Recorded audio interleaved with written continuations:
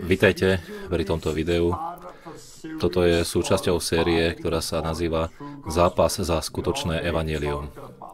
Doteraz sme hovorili o viere, hovorili sme o pokání a teraz sa pozrieme na krst. A ak je tu oblasť, kde naozaj potrebujeme zápasiť za skutočné evanelium, potom je to oblasť krstu.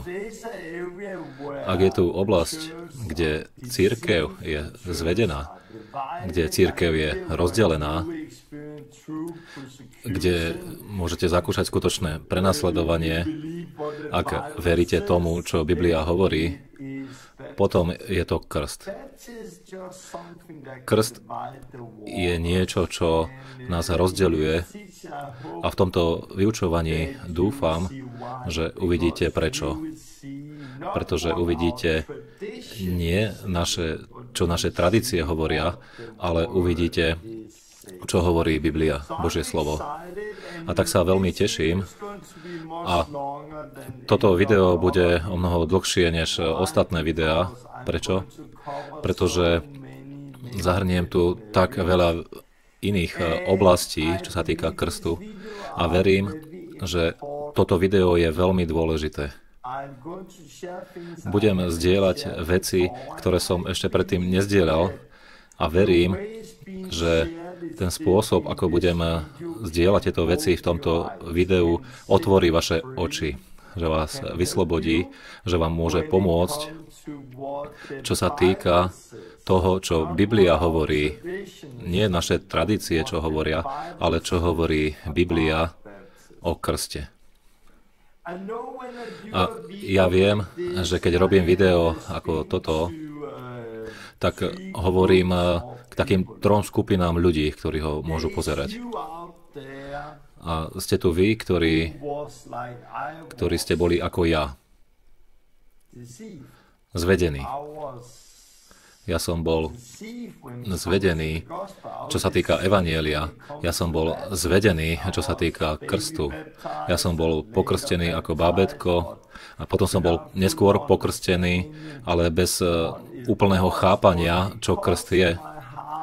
Ale pretože moje srdce bolo také, že chcem poznať pravdu, pretože moje srdce hľadalo pravdu v Božom slove, ja som, eh, sa mi otvorili moje oči a zmenil som sa a teraz eh, vám poviem veci, čo krst eh, naozaj znamená. A tak mnohí z vás sú tam, kde ja som bol predtým a hľadáte a chcete poznať pravdu a hľadáte pravdu. A ja verím, že toto video vás požehná. A je tu tiež e, skupina ľudí, ktorí už poznajú pravdu. Vy, ktorí ste na rovnakej strane ako ja, čo sa týka krstu, už sa nemôžete vrátiť späť k tomu, čo ste verili o krste predtým, že krst je len symbol. Prečo? Pretože to vidíte v písme. Vidíte, čo kážem a zakúsili ste to. Zakúsili ste tú slobodu sami na sebe. A ja verím, že toto video vám tiež pomôže a požehná vás, pretože vám e, ukáže rôzne ďalšie nástroje, kde môžete sa postaviť pevne na tom, čo veríte. Pretože ako ja som si istý, že zakúšate e, prenasledovanie, čo sa týka e, krstu, tak verím, že toto video vám môže pomôcť. A posledná skupina ľudí, ktorí sa môžu pozerať, sú tí, ktorí tomu neveria, bez ohľadu na to, čo sa povie. Budete zápasiť za, proti tomu, bez ohľadu na to, čo sa deje. Ne, neveriete si čas, aby ste si pozreli celé video. Už máte svoje vlastné argumenty pretože vás to vôbec nezaujíma. Nie ste otvorení tomu, čo písmo hovorí o krste. A je tu veľa uh, týchto ľudí. A ja by som povedal, že skupina, ktorí hľadajú pravdu a chcú poznať pravdu, je tak, ta, takáto malá skupina.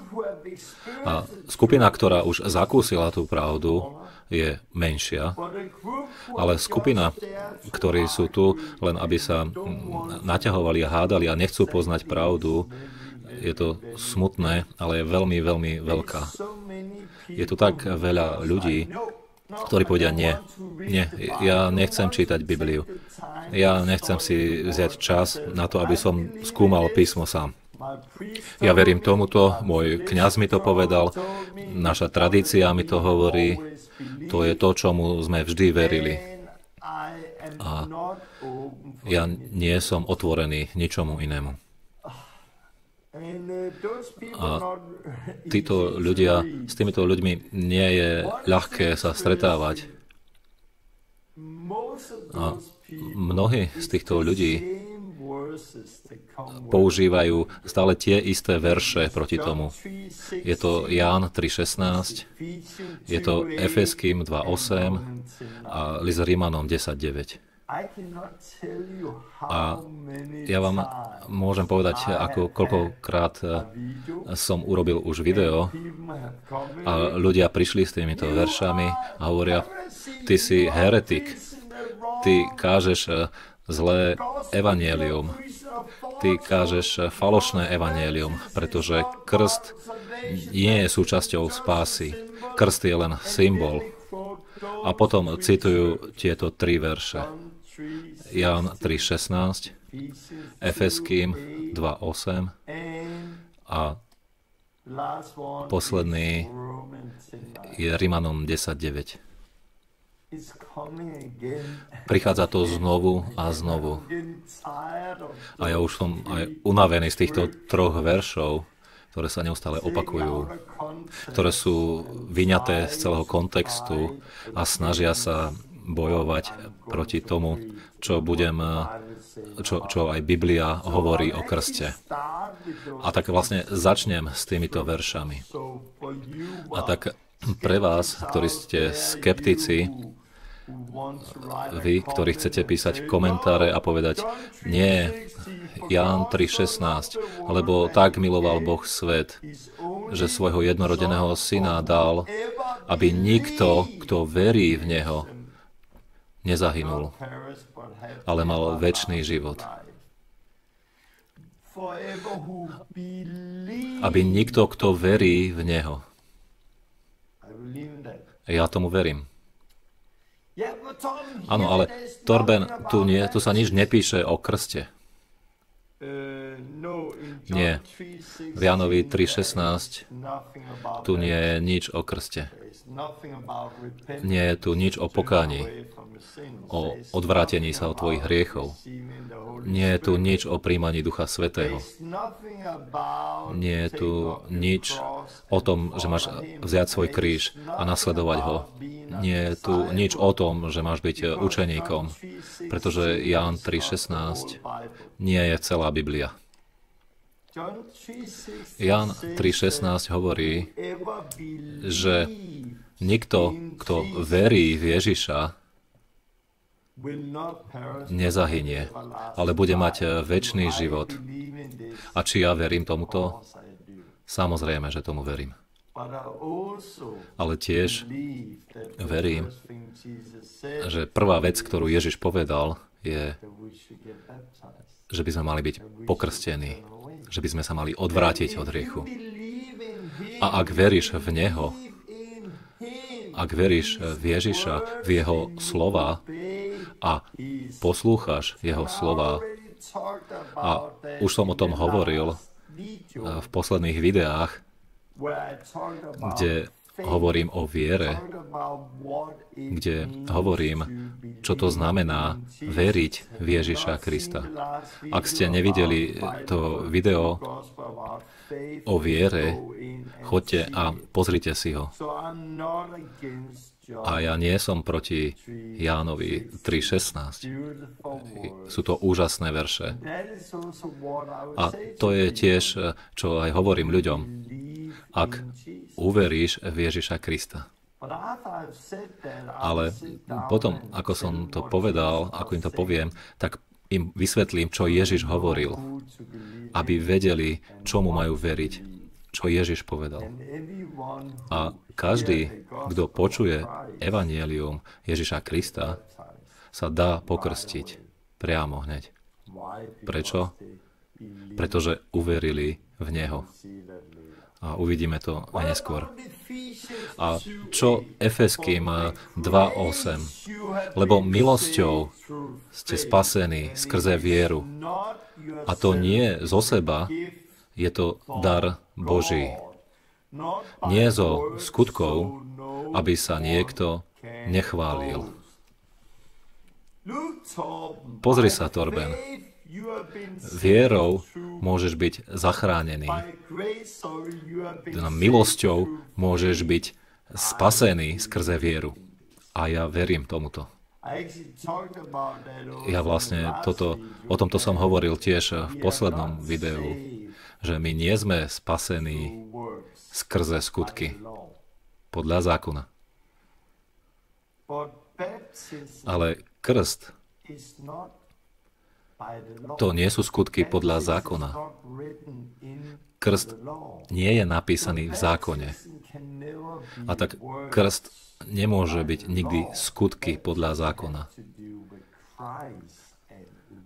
Krst e, má spoločné s krstom a s poslušnosťou a so spásou.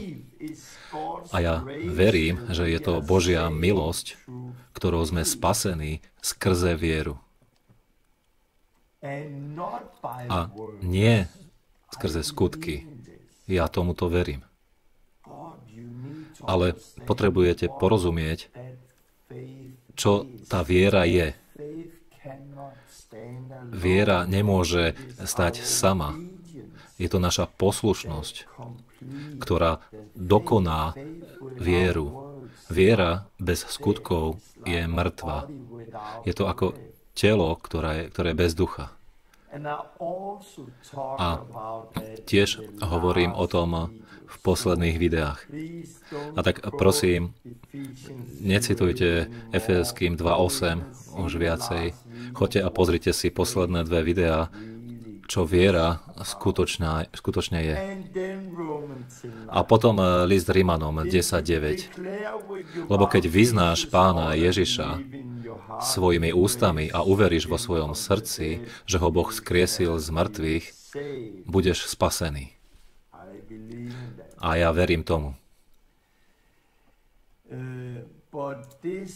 Ale toto Rimanom 10.9 nie je napísané pre neveriacich, ako by mali byť spasení. Nenájdete modlitbu hriešníka v knihe skutkov. Nevidíte to ani v prvotnej církvi, že by používala modlitbu hriešníka, aby boli ľudia spasení. Oni používali krst na miesto modlitby hriešníka. Modlitba hriešníka má len nejakých 100-150 rokov. Ale celá vec, ja verím tomuto. Ak vyznáš Ježiša ako pána, viete, aj Ježiš povedal, ale prečo ma voláte pane, pane, ak nerobíte, čo vám hovorím. A tak nie každý, kto vyzná Ježiša za pána, bude spasený, ale každý, kto robí vôľu jeho otca, ten bude spasený. A tak nie je to každý, kto vyzná Ježiša za pána, bude spasený, ale tí, ktorí robia vôľu Otca. A keď Biblia hovorí, keď svojimi ústami vyznáš Ježiša ako pána a uveríš vo svojom srdci, to nie je modlitba, ktorú sa modlíš, to je vyznanie, ale je to život, ktorý žiješ. Ak Ježiš je pán, tvojho života, mal by si sa dať pokrstiť. Prečo? Pretože to povedal. A je to v krste miesto, kde si obliekaš Krista, kde sa zjednocuješ s Kristom a budem o tom hovoriť. Ale ja som už tak unavený. Vždy, keď hovorím o evanieliu, vždy, keď hovorím o pokáni, vždy, keď hovorím o krste, je to vždy niekto, kto príde s Jánom 3.16, s Efeským 2.8 alebo s Rimanmi 10.9. Je, je to, ja som to počul už stovky krát. A tak chcem začať s týmito veršami. A je to smutné, pretože sú tu ľudia, ktorí sú, ako sa píše v liste Judovom 1.12. Tí sú škvrnami na vašich hodoch lásky, ktorí sa spolu hostia bez bázne, sami seba pasúc, bezvodné oblaky, vetrami pomimo unášané, pozdno jasené stromy jalové, dvakrát zomrelé. Toto je, čo Júda 1.12 hovorí. Sú tu ľudia, ktorí sú bez bázne, bez ovocia, bez života. A keď ich stretnete osobne a uvidíte ich a začnú hovoriť, možno, že ich presnádnete počúvať. A tak by som chcel povedať, buďte opatrní, koho počúvate. Buďte opatrní s komentármi tiež eh, pri tomto videu. Čítajte si Bibliu sami. Chodte a skúmajte Bibliu. Celú, celú vec okolo. Žalm 119, verš 160 hovorí, že sumou tvojho slova je pravda. Sumárom Božieho slova je pravda. Nie je to len jeden verš tu a jeden verš tam je to celý sumár, celé slovo spolu je pravda. A toto je to, čo tu vidíme. Keď my neskôr prídeme ku krstu, Biblia hovorí toto a toto a toto a toto. Ľudia veľmi rýchlo e, nájdu jeden verš ako Jan 3.16 a povedia, hej, pozri sa, nič sa tu nepíše o krste. A použijú to slovo, vyňaté z kontextu, nerozumejúc, čo viera Ježiša Krista je, a zápasia proti zvyšku. A tak chcem vás eh, varovať, eh, aby ste boli múdri. A znovu chcem povedať, predtým, než začneme, toto je séria niekoľkých videí, kde sme začali s vierou. V tom prvom videu o viere hovorím o tom, čo viera je. A hovorím o neposlušnosti a nevere. Neposlušnosť a nevera e, je jedno a to isté slovo. Ako aj viera a poslušnosť sú tie isté slova. Ak ste uverili Kristovi, poslúchate Krista. To nie je nejaká vec mysle. A skutočná viera nemôže byť sama o sebe. Je to naša poslušnosť, ktorá dokonáva do celku našu vieru. Viera bez poslušnosti je mŕtva. Ale problém je, že my tu čítame slovo skutky. A hneď my si myslíme, že skutky sú skutky podľa zákona. Ale je tu veľký rozdiel medzi skutkami, ktoré pochádzajú z poslušnosti a potom skutky zo zákona. A to je to, o čom som hovoril v prvom videu. Ak ste ho nevideli, pozrite si ho. A odpoveď eh, bola úžasná. Jeden napísal, toto je absolútne najlepšie vyučovanie o viere, ktoré som kedy počul. Ďakujem ti za tvoje, že, že pokračuješ eh, v poslušnosti eh, vo viere Bohu. A potom som hovoril o pokáni. Pokánie má čo spoločné s hriechom. Áno, metanoja znamená zmena mysle. Ale my meníme svoju mysel, alebo naše srdce, je to, je to naše srdce, ktoré sa mení. To kamenné srdce sa stane srdcom z mesa. Naše srdce je zmenené. A čoho je srdce plné, to, to vyteká von. Naše srdce je zmenené, náš spôsob, e, ako rozprávame, sa mení a spôsob nášho života sa mení. A pokánie nie je len vecou mysle, že prechádzame z nevery do viery. My sa potrebujeme odvrátiť od hriechov. A tiež sme sa tu pozerali na to, že my nie sme spasení od pekla. My sme spasení od hriechu. Ježiš bol baránok Boží, ktorý nás e, zachránil od našich hriechov, lebo Ježišovo meno znamená, že nás zachráni od našich hriechov. A hriechy z ktorých sme zachránení. Sú to teda hriechy, z ktorých sme zachránení, nie peklo. Ale ak si stále vo svojich hriechoch, tak nie si zachránený. A o tomto som hovoril v predchádzajúcom vyučovaní. A Joel, ktorý nám napísal komentár, my nie sme spasení z pekla, my sme spasení z našich hriechov. Peklo je výsledok týchto hriechov, dôsledok. Je to tak dobré, čo si povedal. Ďakujem ti, Torben. A tak sa to stalo takým zjavením pre neho, pochopenie. A, ale teraz eh, budeme pokračovať a pozrieme sa na krst.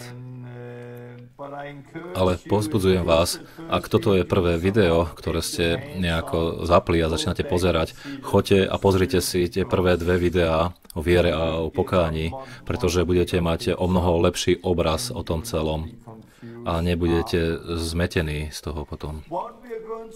A na čo sa pozrieme v tomto videu, je krst. Budem zdieľať trochu o tom, o mojej vlastnej ceste. Potom budeme hovoriť o obnove v krste alebo znovu zrodení v krste. To, je, to sú veľmi zlé slova dnes, ktoré sa hovoria v cirkvi, že to je zlé. Ako keby uh, znovu zrodenie v krste alebo obnovenie krst, v krste bolo takmer ako keby prekliatie, ako keby to bolo veľmi zlé niečo. Ako keby obnovenie, krstné obnovenie, ako keby ste boli spasení krstom a bolo by to niečo zlé. Ale pozrieme sa na to, ako je to e, biblicky. Peter povedal, e, krst, ktorý vás teraz e, spasí. Ale ja neverím v krstné obnovenie, znovuzrodenie, ktoré je v luteránskej cirkvi alebo v katolickej cirkvi, ako sa to tam vysvetľuje. Ja verím, že tam je to nesprávne, ale verím, že krst je, je ten, ktorý nás spasí, pretože je to v Biblii. A ja verím, že krst robí presne to, čo Biblia o krste hovorí. A pozrieme sa na krstné znovuzrodenie, obnovenie a budem hovoriť, čo ľudia hovoria. Tu sú len dve ako keby možnosti. E, luteráni, katolíci, e, krstné obnovenie a potom sú tu církvy dnes, e, pre ktoré je krst len symbol. A tak sa pozrieme na to. A potom sa pozrieme na spásu. A spása je v Biblii uvádzaná v troch časoch. V minulom čase, v prítomnom čase a v budúcom čase. A je to tak veľmi dôležité porozumieť, že spása nie je len vertikálna čiara, ale je horizontálna čiara. Je to minulý čas, prítomný čas a budúci čas. Boli sme spasení, sme spasovaní teraz a jedného dňa budeme spasení. A keď neporozumiete, čo spasa je, a neuvidíte to, neporozumiete, E, kde tam pasuje krst. A to je aj dôvod, prečo sú mnohí zmetení, pretože si myslia, že krst je vertikálna čiara a v tom momente ste spasení, znovu zrodení na ceste do neba a nič to nemôže zmeniť. A potom nerozumejú, kde krst a zvyšok pasuje. A potom sa pozrieme na to, čo Biblia hovorí. A nie naše tradície. A tu sa pozrieme veľmi, veľmi hlboko do každého, takmer do každého verša v Biblii a do mnohých v Novom zákone o krste. A tak sa pozrieme na to, čo Biblia hovorí a e, poviem aj o tradíciách a pozrieme sa aj na históriu, aj na to, že krst je len vonkajší symbol viery. Mnohí ľudia o tom takto počuli ako vonkajší symbol e, vnútornej viery alebo verejné vyznanie. Nič také nenájdete v Biblii. Nič, čo by sa tomu približovalo, nie je v Biblii. Je to nové a to len tradícia. Tradícia a tradícia. A potom sa pozrieme trochu na to e, o prekrstení v Biblii, o, o krste do Ježišovho mena, namiesto e, mene Otca, Syna i Ducha Svetého. Budem hovoriť aj o vyslobozovaní z démonov, čo sa týka aj krstu. A potom sa pozrieme a pozrieme sa samozrejme na Lotra na kríži. Pozrieme sa na Lotra na kríži. My sa tiež pozrieme aj na Pavlové slova, ale Kristus ma neposlal krstiť, ale kázať evanielium v 1. Korinským 1.17. A ja môžem povedať, ako veľakrát som počul toto. A je to také zvláštne.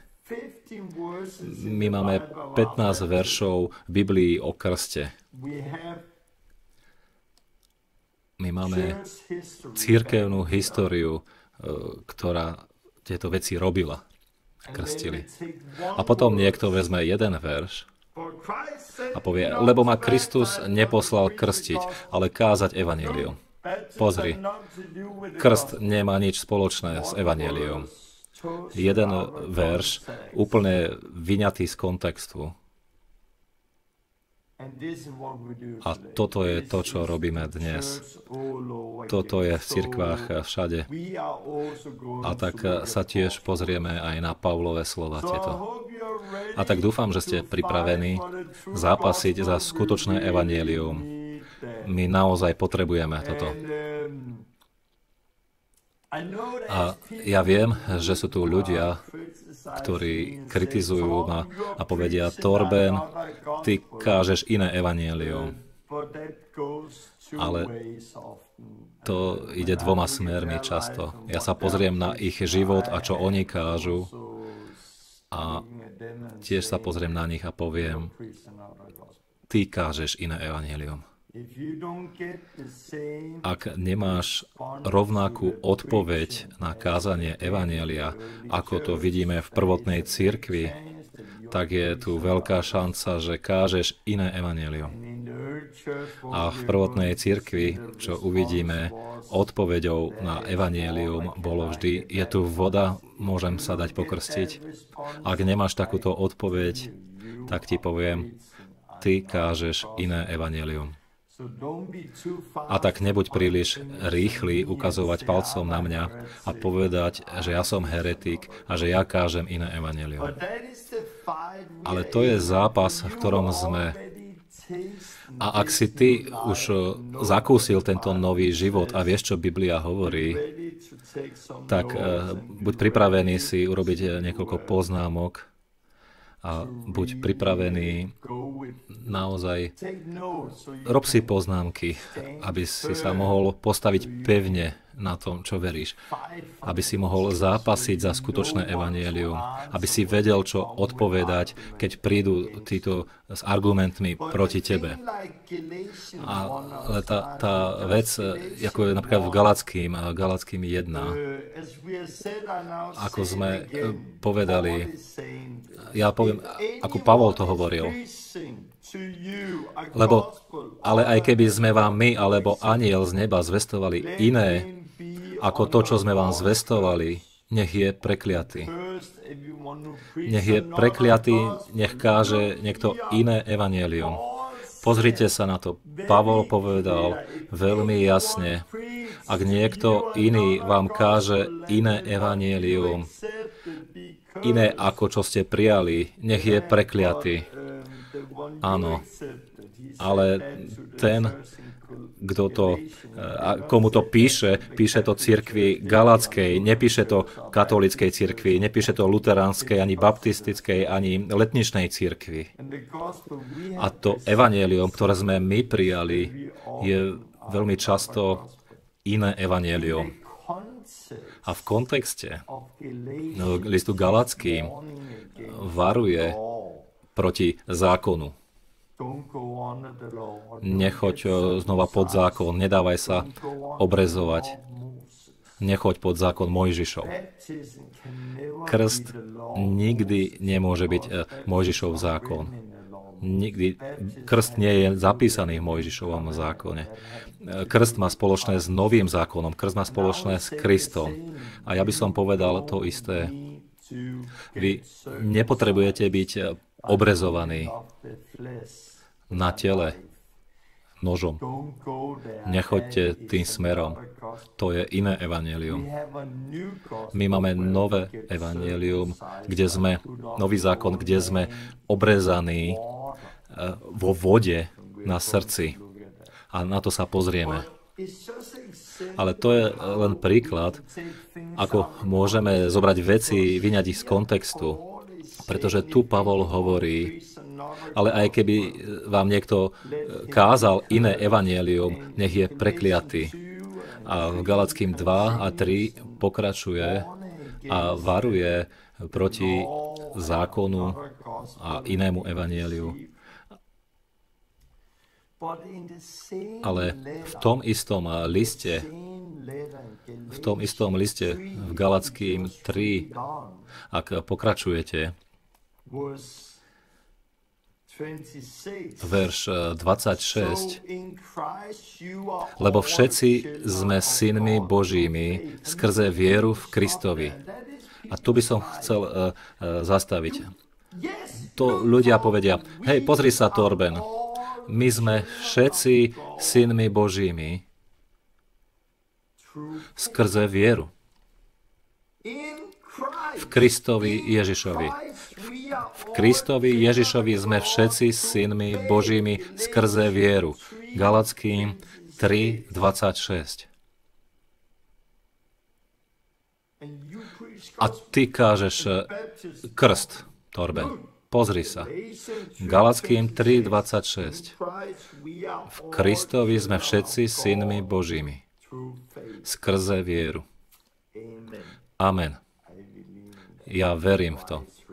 Prečo? Lebo je to napísané. Ale kde vôjdeš do tejto viery? Kedy?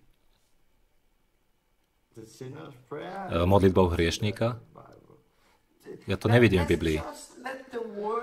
Len nechajme, nech Božie slovo hovorí a, a vykladá, lebo v ďalšom verši, lebo všetci, ktorí ste pokrstení v Krista Ježiša, Krista ste si obliekli.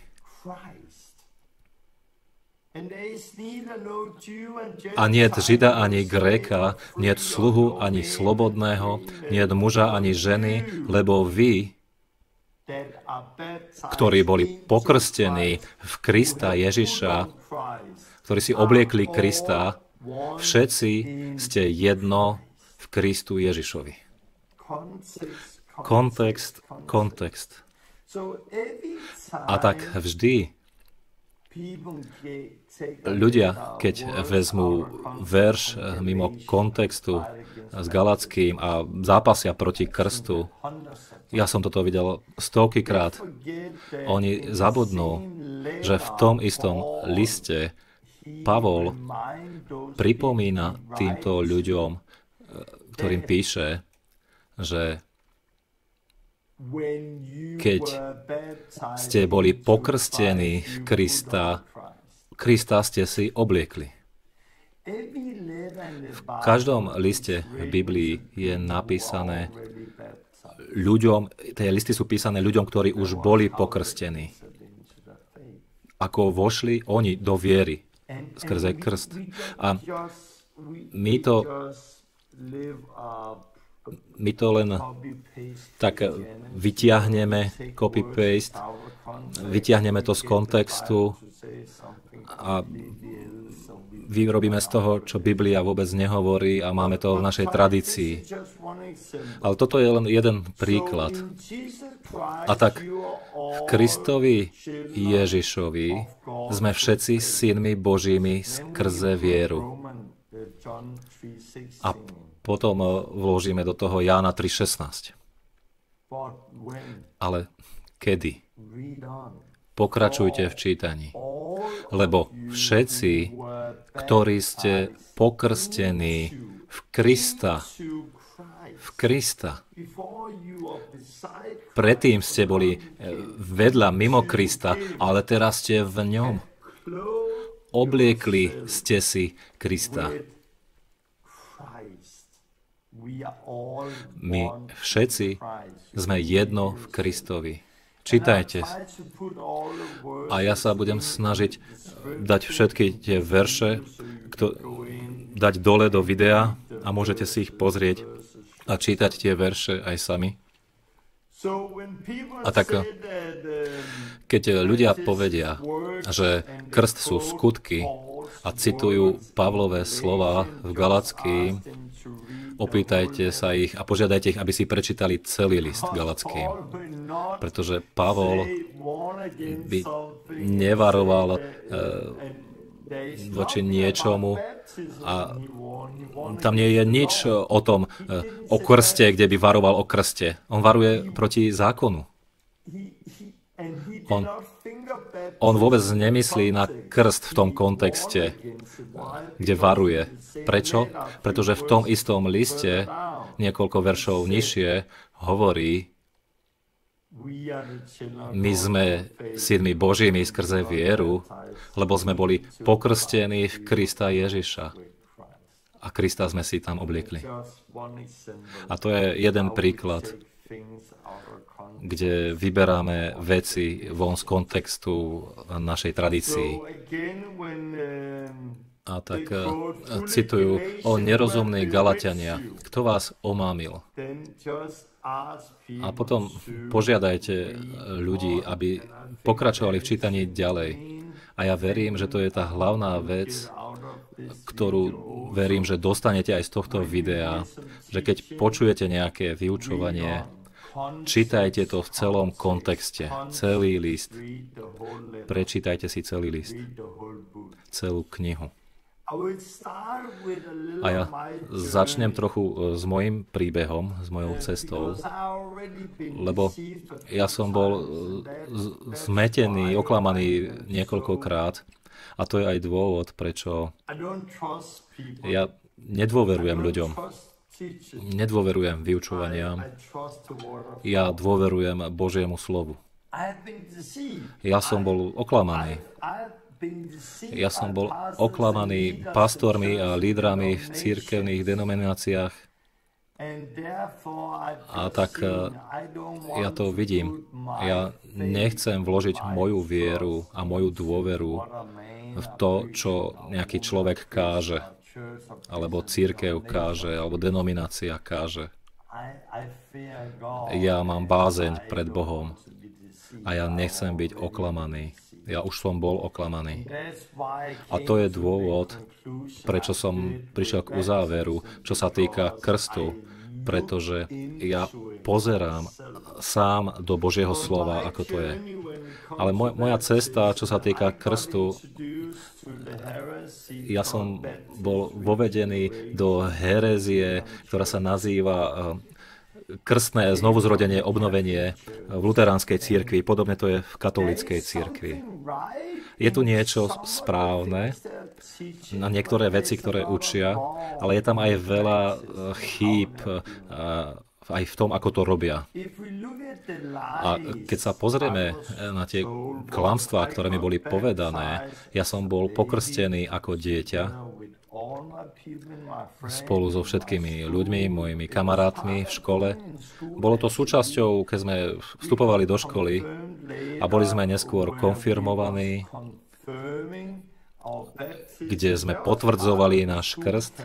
A to je súčasťou školského kalendára u nás. A tak sme chodili aj do školy niekoľko hodín e, počas týždňa ku kňazovi a mali sme niečo tam. A bolo to všetko súčasťou toho. A ja myslím, že tu bol jeden e, chlapec v našej triede, ktorý nebol pokrstený, pretože on pochádzal z inej krajiny. Ale všetci v našej triede v tom čase boli pokrstení ako deti. Teda neboli konfirmovaní, nie všetci, ale boli potom konfirmovaní neskôr v našej triede. A ja mám veľa členov našej rodiny a kamarátov, ktorých poznám, ktorí zomreli bez Krista, ktorí nežili s Kristom, nerobili pokánie, žili v hriechu, nenasledovali Krista, a žili hriešným životom, milovali svoj hriech, ale keď oni zomreli, všetci hovorili to isté, že oni sú v nebi teraz. Prečo? Pretože keď boli deti, tak dostali trocha vody na hlavu. A toto je, čo oni kážu. Nie je nikto v luteránskej církvi, ktorý do nej vstúpil, je v pekle. Prečo? Pretože už viacej nie je pekla. Pretože všetci, čo sú členmi luteránskej církvy, sú pokrstení ako deti a tak sú potom spasení bez ohľadu na to, ako žijú. Akoby tri kvapky na hlavu dieťaťa by urobilo rozdiel na celú väčnosť. To je klamstvo. A to je tá vec, v ktorej som vyrastal. Ja som vyrastal v tomto klamstve. Že krst sám o sebe spasí. A budeme hovoriť o krste detí. A celý ten nápad e, krstiť s deťmi je tak e, zvláštny, pretože viete, ja som bol oblečený v biely oblek, keď som bol e, pokrstený v luteránskej církvi. A keby ma niekto teraz obliekol do bieleho obleku, ja by som sa stiažoval. Prečo? Pretože už som zrelý, už som dospelý a už sám môžem robiť rozhodnutia. Ale ako dieťa som si tie veci neuvedomoval. Nerobil som nejaké rozhodnutia. Moji rodičia robili rozhodnutia. A, a ja som bol teda oblečený do bieleho obleku a ja by som mohol byť aj nahý. Ja by som sa nestaral keby som bol nahý v tom čase. Ale prišiel potom čas, neskôr príde čas, keď začneš vidieť svoju nahotu. Ako mali chlapci, deti, dievčatá, 6, 7, 8, 9 roční, ako podobne moje dievčatá, moje céry. Ja, ja môžem vojsť do kúpeľne, keď sa sprchuje, keď je dieťa, ale keď má 9, 10, 11, začne kričať, a otec, choď von. A to sa zmení. Prečo? Pretože vidia, začnú vidieť svoju nahotu a chcú zakryť tú nahotu. A tak je tu čas, kde ľudia začnú vidieť svoju nahotu a chcú to zakryť. A podobá sa to vám na niečo? Áno. Adam a Eva boli nahí predtým, než prišiel hriech. Bolo to prvýkrát, keď prišiel hriech. Vtedy sa im otvorili oči a uvideli, že boli nahí a chceli sa zakryť.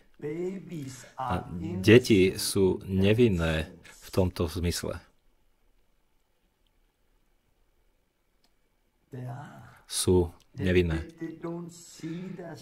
Nevidia hambu. Oni nemôžu robiť pokánie. Z čoho sa môže dieťa vyznať v pokání? Od čoho sa dieťa môže odvrátiť? Sú to klamstvá. Deti 1, 2, 3, 4 ročné. Sú to klamstvá. Ale ja vám poviem, Tiež je klamstvo, že musíte čakať, kým budete mať 14 alebo 18. Aj to je klamstvo. A ja neverím, že musí niekto vyrázať, byť dospelý. A čo Biblia hovorí, že e, krst veriacich, krst pokánia, keď si si vedomý hriechu, keď chceš zakryť seba, e, tak máš poznanie hriechu a môžeš robiť pokanie. A môžeš byť pokrstený. A môžeš prijať Ducha Svetého. A ja som to videl. A ja som videl veľmi mladých ľudí, 7, 8, 9 ročných, kde prišiel Duch Svetý ponad nich a začali hovoriť v jazykoch. A ja som povedal, ako Peter eh, u Kornélia, ak prijali Ducha Svetého ako my, kto im môže brániť, aby boli pokrstení vo vode? A tak eh, ale krst detí je klamstvo. Ale ja som vyrastal v tomto. Potom neskôr som uveril osobnej viere a bol som pokrstený potom, ako som robil pokánie. Vo vodnom krste ktorý je potom, ako robíš pokánie. A tak potom, ako som robil pokánie, som bol pokrstený. A bolo to fajn, bolo to dobré. Ale som neporozumel tú slobodu priamo tam, pretože mi nebolo povedané, čo krst naozaj je. Bolo to až neskôr, keď som prišiel domov a študoval som veci o krste, tak som, ja som to prijal vo viere a potom som porozumel tieto veci, keď som to študoval a začal som žiť. A bolo to vtedy, keď som e, skúmal Rimanom 6 o krste a pozrieme sa na to. A verš 14 hovorí, že už hriech nepanuje nad nami, že už nie sme pod e, hriechom, pod zákonom, ale sme pod milosťou. A ja som porozumel to, že ó, ja som slobodný. Ja som pochoval starý život. Ja už viacej nemusím hrešiť. A to zmenilo môj život. A ja často hovorím aj dnes, to, vzalo mi to 6 rokov, aby som zakúsil tú slobodu v Kristovi. Ak tu by tu, tu boli ľudia, ktorí rozumeli tomu, predtým, v tom čase, keď som prišiel vo viere, ak by mi kázali celé evanielium, tak by som to porozumel hneď, tak ako my kážeme dnes. Ľudia môžu rásť a nemusia zápasiť a odpadávať a nemusia ísť tou cestou, ako som aj ja išiel. Ale to bolo môj príbeh. A ja som zakúsil slobodu. A neskôr som robil vyučovanie s mojim kamarátom, veľmi, veľmi dobrým kamarátom. A robili sme vyučovanie v dánštine, v Dánsku, o krste. Tak ako Biblia o tom hovorí, podľa toho sme išli. A nemali sme stovky alebo stovky svedectiev, ktorí zakúsili slobodu v krste, tak ako máme teraz v tomto čase. A tak nebolo to našou skúsenosťou. My sme len čítali to, čo Biblia hovorí o krste a začali sme to učiť. A potom som mal kamaráta Tomiho, ktorý zápasil dlho s hriechom a mal Ducha Svetého, miloval Ježiša, ale nebol slobodný. A videl moje vyučovanie. A povedal, ja asi musím byť pokrstený. A prišiel a dal sa pokrstiť. A keď, prišiel, keď vyšiel von z vody, bol vyslobodený. A to mi hovoril a hovoril o tom a utekal okolo a radoval sa a povedal, toto je, čo potrebujeme. A potom pokrstil ďalších ľudí a oni zakúsili tú slobodu a to naozaj aj mne otvorilo oči. Som povedal, o, to, čo čítame v Biblii, je správne. Je to správne.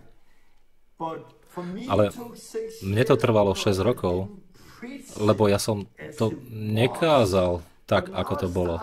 Ale teraz som to začal kázať, ako to bolo a ľudia začali zakúšať slobodu priamo, hneď. Ale stále to bolo ťažké pre nás, lebo my sme prišli do luteránskych spoločenstiev rodičov, rodi- detí, kde milujú Ježiša, ale krst bolo niečo, o čom by sme nemali vôbec hovoriť. Ticho. Nehovorte o krste. Hovorte o Ježišovi, o Duchu Svetom a dokonca krst Duchu Svetom, ale krst vo vode, nehovorte o tom. Ticho. Prečo? Lebo to zraňuje ľudí v ich srdciach. A čo potom títo, a čo títo tam, eh, ktorí, viete, a tak sa to stalo takým ťažkým v tomto spoločenstve. Ale ja som začal skúmať písmo viac a viac a prišiel som k bodu, kde som videl, že ja potrebujem robiť pokánie. Ja nemôžem sa báť rodiny a priateľov a tradícií a počúvať ich. Ja potrebujem počúvať Boha. A tak som začal kázať tieto veci. A začalo prenasledovanie ešte viac. Ale viac a viac ľudí začali zakúšať slobodu. A bolo to úžasné. A my porozumieme viac. A vezme nás to na cestu, kde prídeme, kde sme dnes po mnohých rokoch a máme stovky svedectiev ľudí, ktorí zakúsili slobodu tým, že si obmeli svoje hriechy, že slobodu, kde pochovali starý život, ktorí sa snažili so všetkým predtým, ako Tommy, on mal Ducha Svetého, a, ale ktorý zápasil s hriechom, ktorý miloval Ježiša, ale modlil sa, postil, ale neprekonal tie veci vo svojom živote. Ale keď porozumel krst a prišlo to v správnom poradí, to zmenilo všetko v jeho živote. A teraz ja som kázal toto už mnohé roky a ja som počul všetky tie argumenty, ktoré sú proti a ja pozývam každého, kto, ak vidíš toto video a naozaj nevidíš tieto veci, zober si Bibliu a ukáž mi v Biblii a, a pozrime sa na to. Ale nie tradíciu, Bibliu použi. Pretože je to tak jasné. Je to tak jasné, keď to prvýkrát uvidíš a pôjdeš eh, skrze to v písme. A ja som nikdy nestretol, ktorý by vysvetľoval nejako inak, ako to je. A chcem povedať, je to tak veľmi dôležité, že my nebudujeme na našich skúsenostiach. Moje skúsenosti sa zmenili. Ja som bol zvedený, oklamaný v luteránskej cirkvi, ale niektorí z vás ste neboli v štátnej cirkvi, alebo ako je luteránska cirkev, katolická cirkev, kde majú detský krst. A v Európe je to všade, ale v Amerike to nevidíte.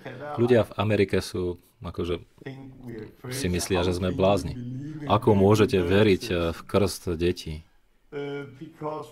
Lebo sme v tom vyrastali. My sme nepoznali nič iné. A pretože sme v tom vyrastali a nepoznali nič iné, to vyzerá správne. Ale oni sa pozerajú, ako môžete veriť, že krst je len symbol, keď sa pozerajú na Američanov. Ako ľudia môžu veriť, že krst je len symbol? No, lebo my sme v tom vyrastali a nepoznáme nič iné. A toto je sila tradície ja by som povedal, luteránska a katolická církev sú viacej správni v teológii, ale nerobia to správne. Ale v Amerike sú na tom správne e, v praktizovaní, ale sú nesprávne v teológii. A tak to, takto to je dnes v cirkvách. A ja by som povedal, nebudujte na skúsenosti Skúsenosť sa môže zmeniť počas noci. Budujte na Božom slove.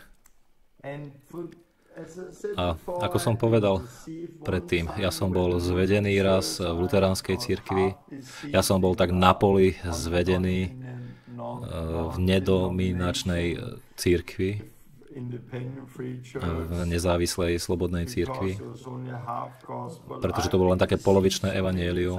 A ja som bol zvedený veľakrát ľuďmi a církevnými tradíciami a ja som prišiel k záveru, že ja potrebujem to čítať sám, ja to potrebujem skúmať Božie slovo sám. A dúfam, že rovnako podobne sa to stane aj vám.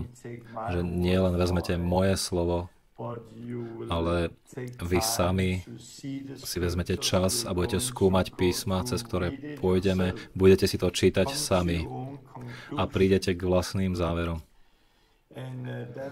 A to je aj dôvod, prečo máme túto knihu, Bibliu. A ak sa pozrieme na eh, krstné znovuzrodenie, obnovu, to znamená byť znovu zrodený, obnovený v krste. Takže krstná obnova je vlastne niečo, čo verili prvých 500 eh, rokov v cirkvi. Tá, tie praktiky, ako to vyzeralo, sa zmenili eh, rýchlo, tak počas noci. Ako krst, krst bol naozaj veľmi zvláštna cesta od ponorenia kde to robia aj rovnako teraz v ortodoxnej gréckej církvi ponorením. Prečo? Lebo baptizo znamená ponoriť. A my neprekladáme v Biblii tie slova ako ponorenie. My len, ako v angličtine, len prepíšeme to slovo, ako to je v greštine. A aj iné slova neprekladáme do nášho jazyka. A tak niektoré slova v Biblii sú nepreložené, ale literálne prepísané. Inak by krst bol napísaný ako ponorenie. Ponoriť do vody. Ale my sme dali aj do anglickej baptizo, do našej krst slovo, ktoré to nevyjadruje.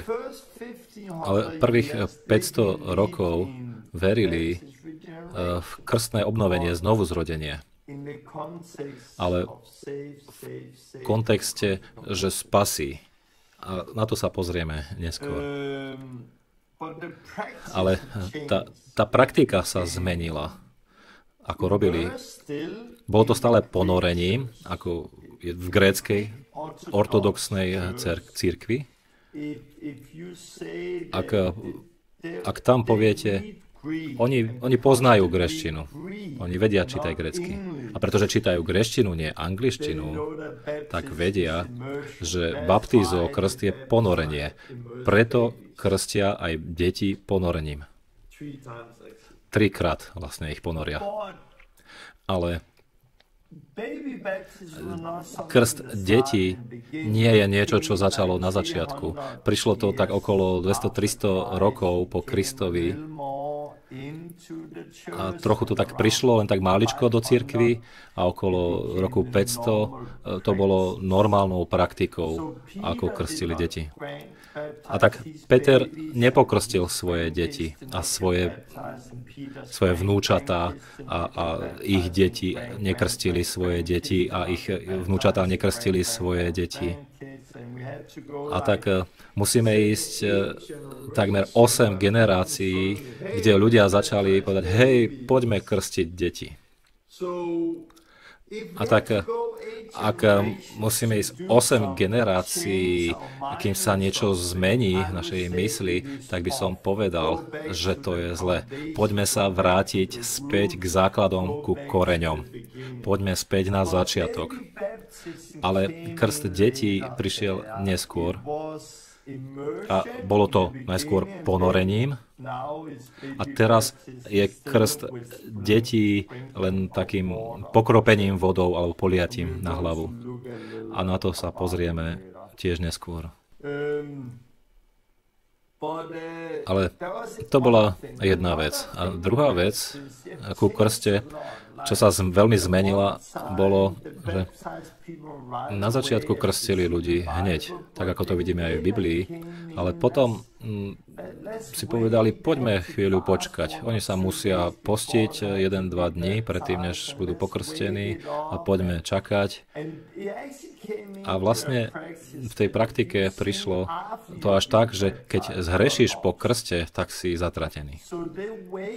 A tak čakali s krstom až na úplný posledný koniec, kedy sa dalo byť, bolo možné pokrstiť. Podobne aj Konštantín bol pokrstený na svojej smrteľnej posteli, tesne predtým, ako zomrel. A tak eh, boli tu praktiky, ktoré vchádzali do cirkvy, ako krst detí, eh, kropenie vodou, a čakanie s krstom, a skorý krst a neskorý krst. A samozrejme, prečo začať eh, skoro s krstom, s detským krstom?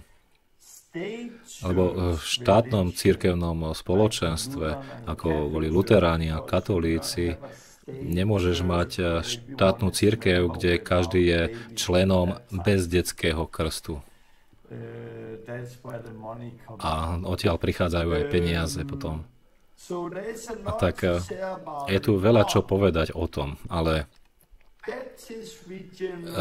krstná obnova, krstné znovuzrodenie, to ako katolíci učia, tam prišlo veľa mystiky do toho ako napríklad svetá voda, že kňaz by mal krstiť a povedať špeciálne slova a modliť sa nad ľuďmi. A tak krst odchádzal od takej jednoduchej viery, kde každý môže krstiť po domoch alebo uprostred noci a stalo sa to nejakou církevnou vecou, svetou vecou, kde len v katolíckej církvi. A bez toho, eh, aby bol niekto pokrstený eh, v katolíckej církvi, tak nie si spasený. A aj to je dôvod, prečo nie je spása mimo katolíckej církvy, ako oni hovoria. A Martin Luther išiel proti tomu. Proti niečomu z toho pre, proti niektorým klanstvám v katolíckej církvi a tej mystike okolo detského krstu. Ale nereformoval krst ako celok. A tak sme skončili e, u luteránov ako krst, ktorý je veľmi podobný ako u katolíkov. A skončili sme s novou štátnou církvou luteránskou. A krst potom neskôr e, prišli, anabaptisti boli prekrstení a oni išli proti týmto klamstvám a potom prišli do Ameriky. A preto Amerika je úplne odlišná od Európy, pretože Amerika nie je založená na štátnom cirkevnom náboženstve a tak tu nie je veľa krstov detí a rovnakým spôsobom, ako my máme tu v Európe, ale stále je to tu. A e, sú tu biblické verše o tom, čo krst je. Napríklad eh, v Petrových listoch, eh, krst, ktorý nás spasí, my to vidíme, môžeme si to prečítať. Vidíme to v 1. Petrovi 3.21. Krst, ktorý nás teraz zachraňuje. A tak niektoré z tých vecí, ktoré hovoria o krste, sú v podstate správne. Niektoré verše, ktoré používajú v katolíckej a luteránskej cirkvi, sú správne. Krst nás spasuje. Krst nie je len symbol. Krst nie je len vonkajšie význanie vnútornej viery. Vonkajší symbol. Nie je to len význanie vnútornej viery. Krst je o mnoho viac tak ako hovoria v luteránskej a katolíckej cirkvi. Ale tá praktika je tak úplne mimo. Prax je úplne mimo. My nekrstíme deti na základe viery iných ľudí. Ľudia musia prísť k viere sami, robiť pokánie a potom môžu byť pokrstení.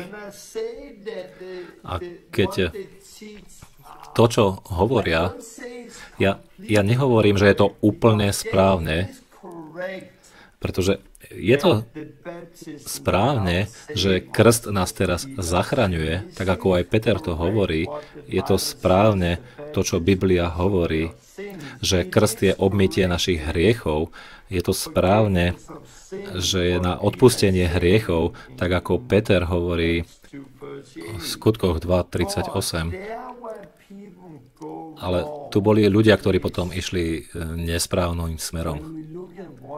Keď sa pozrieme na to, čo spása je. Prvá vec, ako som povedal v poslednom videu, my nie sme spasení od pekla. My sme spasení od našich hriechov. Viac o tom si pozrite v poslednom videu o pokaní. Ale tá spása, nie je vertikálna spasa, ako takto, kde akoby, že v ktorej sekunde si spasený, v ktorom momente si plne znovu zrodený a máš všetko. Nie, to môže ísť rýchlo. Môže to nastať v jeden deň. Môže to nastať v jednu hodinu. Veľa z toho, veľa z toho, ale nie všetko. Spasa je viac menej horizontálna cesta. Nie je to vertikálne, je to horizontálne.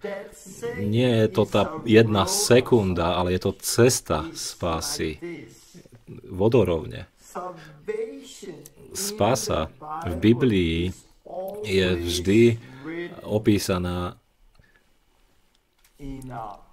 v troch časoch v minulom čase, boli sme spasení, čiže v minulom čase, v prítomnom čase, my sme spasovaní a v budúcom čase.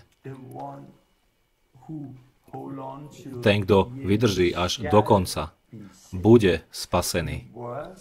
Boli sme spasení, sme v spasení a budeme spasení. A na tejto ceste krst e, prichádza a potrebujete porozumieť. A predtým, než sa pozrieme viac na krst, potrebujem povedať, že Krst, ktorý nás teraz zachraňuje, nie je to len Peter, ktorý to povedal. Nie je to len to miesto, kde to vidíme. A keď sa pozrieme na Ježišové slova v Evangeliu podľa Jána 3, Amen, amen, ti hovorím, že ak sa niekto nenarodí z vody a z ducha, nemôže vojsť do kráľovstva Božieho. Ak sa niekto nenarodí z vody a z hora v niektorých prekladoch, z vody a z ducha, nemôže vojsť do kráľovstva Božieho. Čo sa narodilo z tela, je telo. Čo sa narodilo z ducha, je duch. Nediv sa, že som ti povedal, musíte sa narodiť znova. Prvých 15 storočí cirkevnej histórii, každý, kto to čítal, tak vedel, že Ježiš hovorí o krste vo vode. Potrebuješ eh, sa narodiť znova z vody a z ducha. Inak nemôžeš vojsť do kráľovstva Božieho. Ľudia to vedeli 15 storočí. Ale potom sa to zmenilo a ľudia prišli a povedali, nie, nie, nie, on tu vlastne hovorí, vieš, lebo potom hovorili o tele a telesných veciach a tak povedali, čo Ježiš tu hovorí, je, že to z vody, že to je ten prirodzené narodenie sa. A keby toto Ježiš hovoril, tak bol by veľmi, veľmi, veľmi zlý komunikátor. Pretože ľudia mu potom neporozumeli 15 storočí. A ja by som povedal, že ľudia čítali toto a porozumeli to bez náboženských okuliarov. A myslí si, že tu je niečo nesprávne. A samozrejme, Ježiš nehovoril o prirodzenom pôrode, narodení sa. Počúvajte. Niektorí ľudia poveda, hovoria, že tu hovorí Ježiš o prirodzenom narodení. A tak, že ak sa niekto nenarodí z vody, a hovoria, že to je ten prirodzené narodenie, že to bábetko je vo vode, v tele ženy a vyjde z vody. A z ducha, že nemôže vojsť do kráľovstva Božieho. Ale a tak Ježiš by mal povedal, že ak sa niekto nenarodí z vody prirodzeným spôsobom a z ducha, nemôže vojsť do kráľovstva Božieho. Skúste na to o tom popremýšľať. Ježiš povedal, ak sa niekto nenarodí prirodzeným spôsobom z jeho mamy a z ducha, nemôže vojsť do kráľovstva Božieho. Ako by to bolo možné sa narodiť a byť pokrstený Duchom Svetým a nebyť narodený prirodzeným spôsobom. Ako by Ježiš hovoril niekomu, kto by sa nenarodil prirodzene. Každá osoba, s kým Ježiš bol, s kým, koho vôbec kedy stretol, už, sa, už bol narodený prirodzeným spôsobom zo svojej mamy. Všetci už boli narodení prirodzeným spôsobom. A tak Ježiš by povedal, to nedáva zmysel. Je to ako by som ti povedal, ktorý sa pozeráš na toto video teraz. Ak chceš byť znovu zrodený a vojsť do Božieho kráľovstva, potrebuješ urobiť dve veci. Prvá vec, musíš sa narodiť z tvojej mamy. OK? A potom sa potrebuješ narodiť z ducha. A tak, prvé, prvá vec, musíš sa narodiť z mamy a potom sa musíš narodiť z ducha. A potom môžeš vojsť do kráľovstva Božieho. To, to nedáva vôbec žiadny zmysel. Ja by som len mohol povedať, každý, kto vidí toto video, musíš sa narodiť z ducha. Ja by som mohol nechať celú tú vec e, o prirodzenom narodení. Prečo? Pretože každý, každý, kto vidí toto video, každý, kto vôbec bude niekedy vidieť toto video, už je narodený prirodzeným spôsobom. To nedáva zmysel. Musíš naozaj študovať teológiu veľa rokov, aby si naozaj toto tam videl. Dajte si tie náboženské okuliare dole. Nie. Ježiš kázal, musíš byť znovu zrodený z vody a to je krst ponorením vo vode a z ducha, aby si vošiel do Božieho kráľovstva. Ale opäť, my máme problém s týmto, eh, čo sa týka spásy a, a vody, pretože nie je to len viera a pokanie. Kde tu má miesto voda? A kde je duch? Lebo niektorí z nás majú inú skúsenosť. Niektorí majú silnú konverziu a, a vieru v Boha a dostanú nové srdce. A zastavia sa tu a myslia si, ja som sa stretol s Bohom, ja mám to všetko, ja cítim zmenu, ja už nie som ten istý, môj život sa zmenil. Bez vody a bez Ducha Svetého. A ja som to mal takto. Raz. A iní ľudia potom zakúsia Ducha Svetého ako prvého. A povedať, o, ty nepotrebuješ robiť pokánie a veriť. Ty potrebuješ Ducha Svetého bez skúsenosti e, krstu vo vode a, a nerozumejú, kde má miesto voda, pretože on sa cíti taký zmenený, uzdravuje chorých a káže evanelium. A iní robia pokanie a dajú sa pokrstiť a povedať, áno, hura, som, ja som zmenený, ale nezakúsili krst Duchom Svetým a nerozumejú, kde má toto miesto.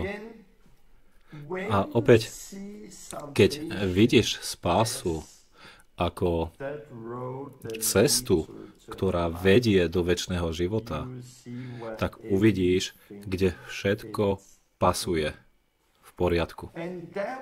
A to bolo to, čo kázala prvá církev, keď kázala evanelium. Oni nemali novozákonné knihy, oni mali len starozákonné knihy a tak oni kázali z knih starého zákona. A e, z knih starého zákona kázali a, a oni používali veľmi, veľmi jasný obraz o Izraelitoch. Izraeliti boli otrokmi v Egypte.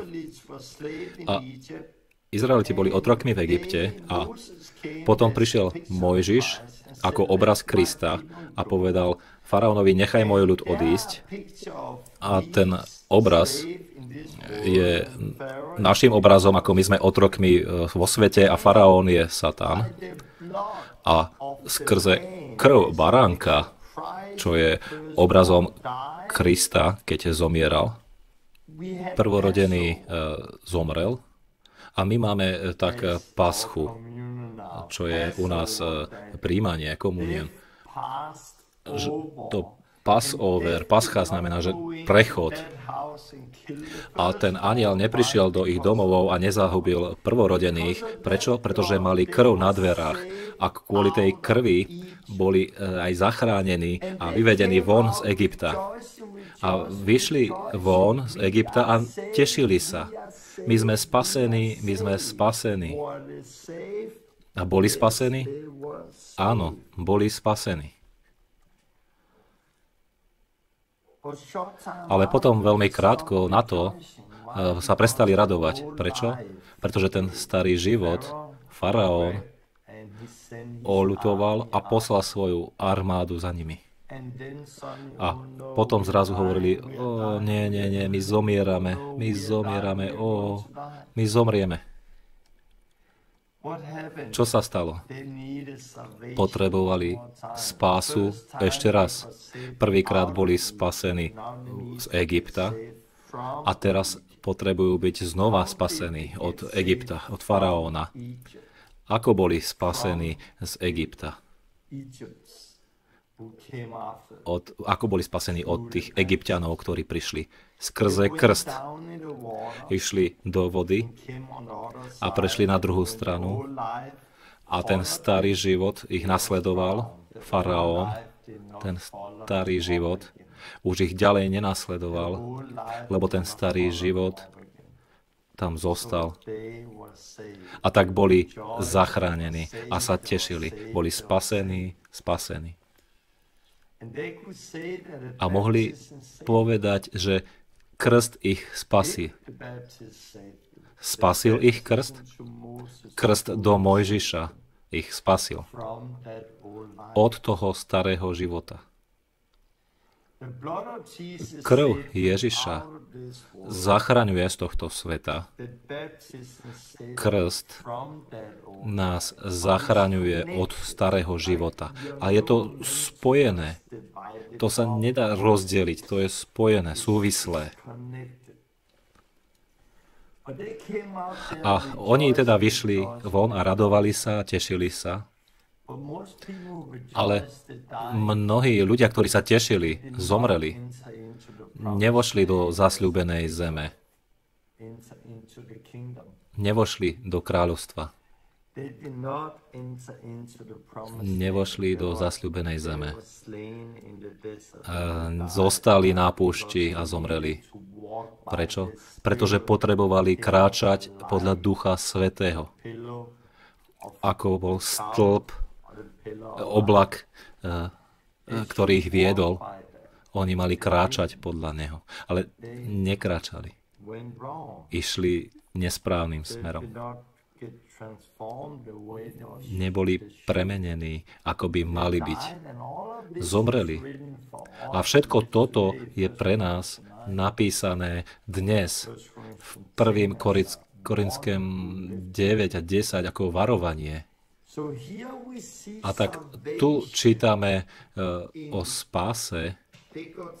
Boli spasení von z Egypta, potom boli spasení od starého života skrze vodu a potom mali kráčať podľa Svetého Ducha a vojsť do zasľúbenej zeme.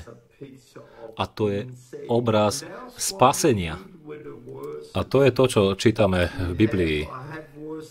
A ja tu mám verše pri sebe. Efeským 2.8. Poďme si to pozrieť. Už sme si o tom hovorili. Lebo ste milosťou spasení skrze vieru. Boli ste spasení. Minulý čas. Boli ste spasení. Ako? Keď sme robili pokánie a uverili. Boli sme spasení. Ale to nestačí. Prvým Korinským 1.18 hovorí. 1. Korinským 1.18. Lebo slovo kríža je tým, ktorí hynú bláznostvom. Ale nám, ktorí dosahujeme spasenie, je mocou Božou. A tak tu vidíme opäť, my dosahujeme spasenie. Sme teraz spasení. Jedným spôsobom je zbaviť sa starého života vo vodnom krste a zbaviť sa toho starého života a byť zachránený od hriechov. A potom v liste Rimanom 13.11 a toto znajúc čas, že je už hodina, aby sme sa prebudili zo spánku a vstali, lebo teraz nám je bližšie spasenie ako bolo vtedy, keď sme uverili. A tak tu čítame, že naša spása je bližšie teraz k nám, než ako bolo vtedy, keď sme prvýkrát uverili. A toto je to, čo vidíme, že spása je od hriechu to nie je od pekla, spása je od hriechu. Bol si spasený von z tohto sveta, bol si spasený tým, že si sa zbavil starého života a ten, ktorý vydrží až do konca, bude spasený. A ja vlastne mám eh, celé video o tomto. Cesta spásy. A napíšem to tu pod video, kde môžete nájsť eh, odkaz. Ja tu dám odkaz do popisu a potom môžete si to pozrieť, video Cesta spásy, pretože je tu povedané o mnoho viac a podobne. Ale tu, skrze krv, sme spasení von z Egypta, skrze krst vo, vo vode od našich nepriateľov, ale je to ten, ktorý vytrvá až do konca, bude spasený. A toto je eh, tá vec. Tak eh, ľudia si myslia nesprávne, keď ja poviem, že teraz krstia spasí. Oni si myslia, že krst sám o sebe urobí všetky tie veci. Nie, nie. Pokánie, viera je súčasťou. Pokánie, viera ti dá nové srdce to je ten východ z tohto sveta. Ale krst je zloženie toho starého života a byť zjednotený s Kristom. Si zachránený z tohto sveta, potom sa zbavíš starého života a si zaštepený do Krista. A potom potom kráčame podľa Ducha Svetého, ktorého potrebujeme prijať. A ten, kto vydrží až do konca, bude spasený. A tak ja viem, že je to už dlhé video teraz, ale potrebujeme pokračovať. Tak teraz poďme sa pozrieť do Biblie. Dajme si čas, kde zabudneme trocha o, o, o našich tradíciách, o tom, čo vieme, odkiaľ pochádzame. A poďme nechať eh, Božie slovo hovoriť samo k nám. A potom sa pozrieme, eh, a, a čo Lotor na kríži, a čo Pavol hovoril. A pokoj, dostaneme sa k tomu neskôr, ale poďme sa pozrieť na niektoré iné verše a poďme sa pozrieť na to tak, ako sú. A tak začneme skrze knihu skutkov.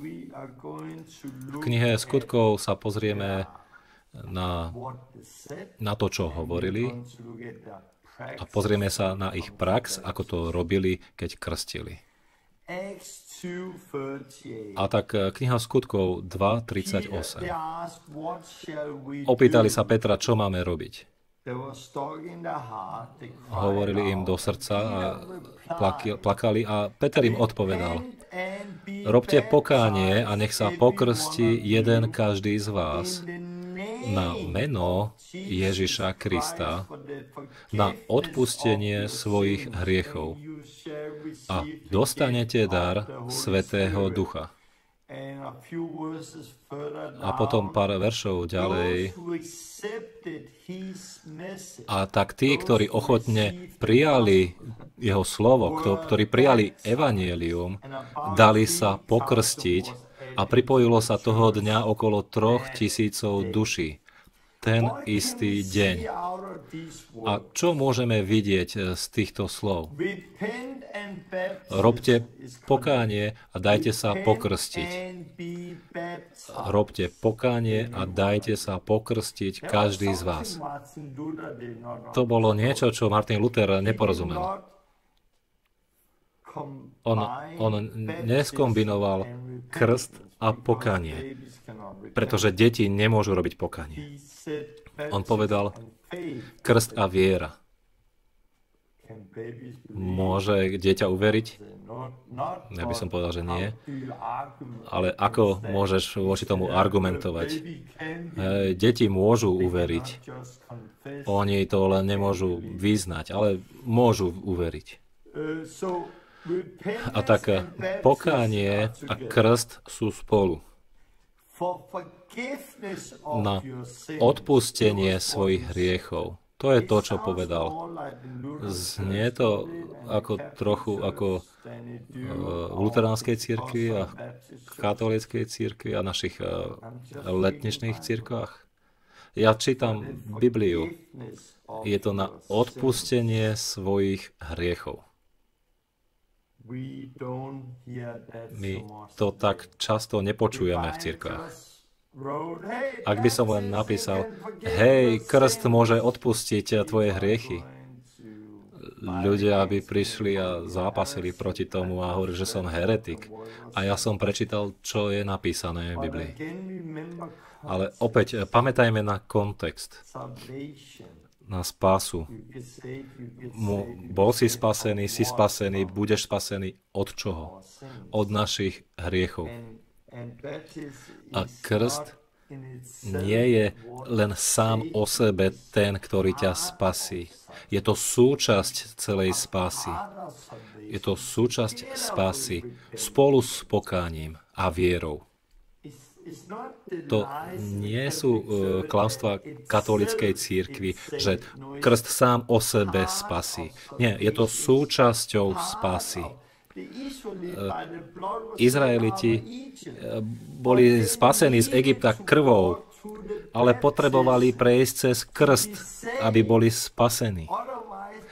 Inak tá spása, ktorá bola z Egypta, bola veľmi krátka spása, pretože potom starý život, eh, faraón utekal za nimi. Oni potrebovali sa zbaviť starého človeka vo vode. To je to, čo vidíme dnes. Pokanie a viera nestačí. Pokanie a viera bez krstu urobí, že robíš pokanie, máš nové srdce, chceš žiť správny život, ale padneš do hriechu znovu. Vrátiš sa k starému životy, životu. Ten hriech sa znova vkradne do tvojho života. A to je to, čo som ja zakúsil. Ja som zakúsil zmenu srdca, a mal som vieru a miloval som Ježiša a hovoril som o Ježišovi a mal som nový život. Ale krátko potom ten starý život sa začal vkrádať znova. A začal som zápasiť s hriechom. A, a cítil som, ako hriech má nadvládu znovu v mojom živote. A začal som žiť akoby dvojitým životom a, a nebol som slobodný. Ale čo sa stalo? Keď prišiel krst, ja som konečne sa zbavil starého človeka a postavil som sa slobodný. A v tej slobode, v tej sekunde som bol slobodný. Bol som zachránený od starého života. A tak tu čítame pokánie a viera,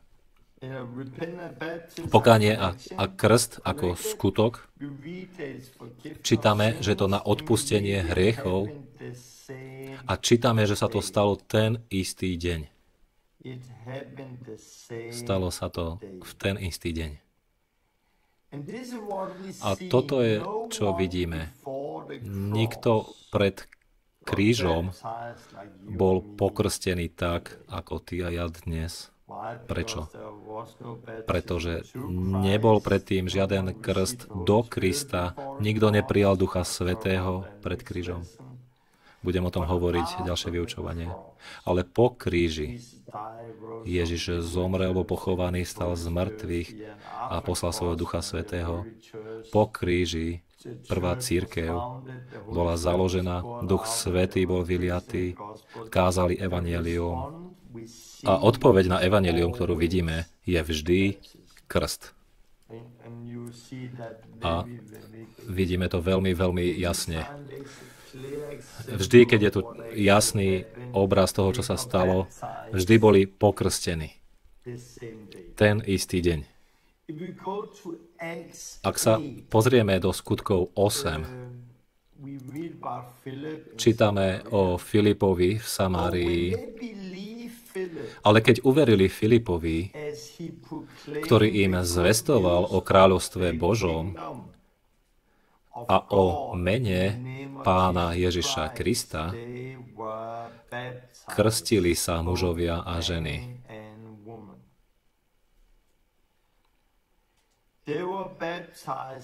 A tak boli pokrstení mužovia aj ženy, keď uverili, boli následne pokrstení.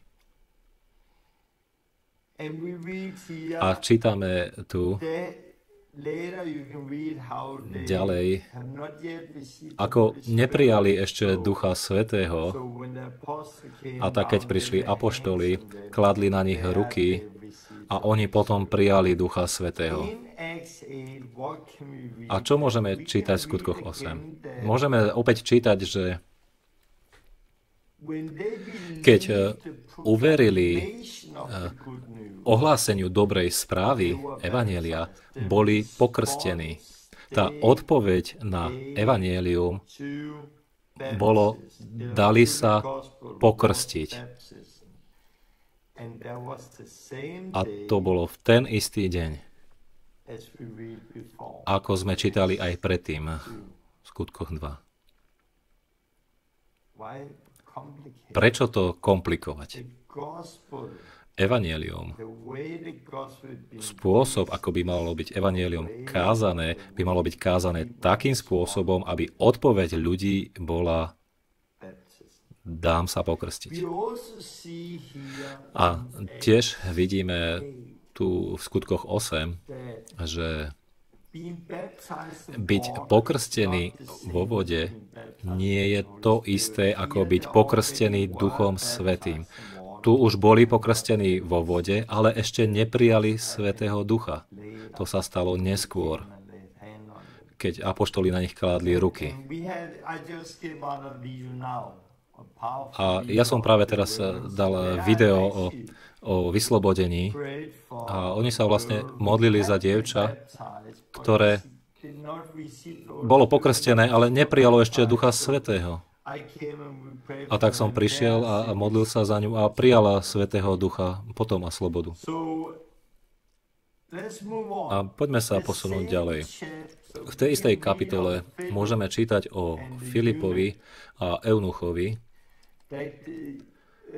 že Filip eh, prišiel k Eunuchovi na ceste, ako išiel cestou, a kázal mu evanielium Ježiša Krista.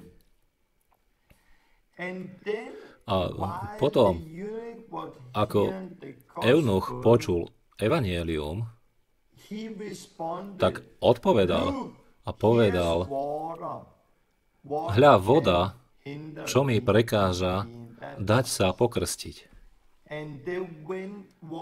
A zišli dole do vody a Filip ho pokrstil. Priamo hneď vtedy.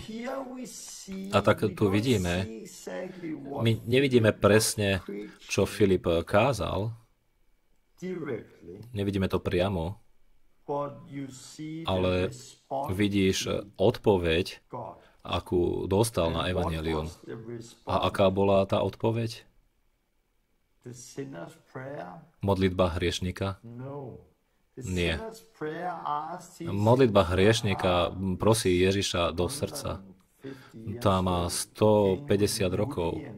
Prišlo to s Woodym, Finlim a ostatnými a inými výpravami Kristovými a Billy Graham potom neskôr. Popros Ježiša do srdca je to, čo mnohí ľudia teraz robia. Ale to nie je biblická vec. V Biblii odpoveď, ktorú dali na evanielium, bola, tu je voda, dám sa pokrstiť. A to bolo opäť v ten istý deň. A kde to vidíte dnes?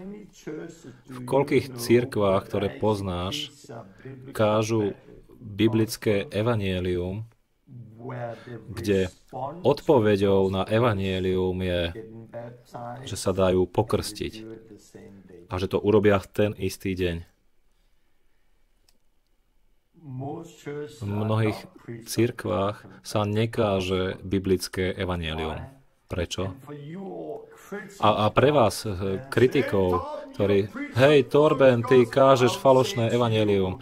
Ja vám poviem, OK, ak ty kážeš eh, správne evanelium, ak ty kážeš skutočné evanielium, tak odpoveď, ktorú by si mal dostať na tvoje evanielium, by malo byť biblická odpoveď, že sa ľudia dajú pokrstiť priamo, hneď, ako v skutkoch 2, ako v skutkoch 8 tu. Ak kážeš evanielium ľuďom a nie sú pokrstení priamo hneď, nekážeš biblické evanielium. Hej, ale 1. Korinským 1, 17, Pavol, ktorý hovoril, ja som není poslaný krstiť, ale kázať evanielium. Nepoužívaj písmo proti písmu. A obzvlášť, keď je vyňaté z kontextu. A vrátime sa k 1. Korinským neskôr.